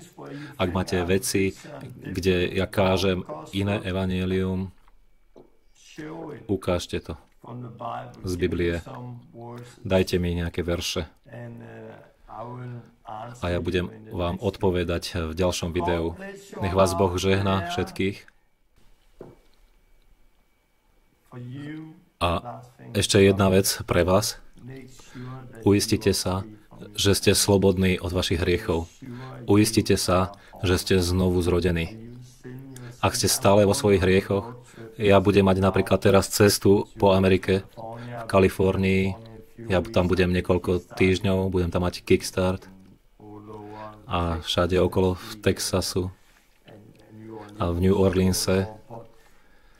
Ale choďte na tlrmap.com a nájdete ľudí okolo vás, kontaktujte ich. Ak potrebujete byť pokrstení správne, kontaktujte nás, my sa s vami stretneme, pošleme vám ľudí, môžete ich kontaktovať a môžete byť pokrstení správne a zakúsiť tú istú slobodu, ktoré už tisíce, milióny ľudí majú. Nech vás Boh žehná. Ahojte.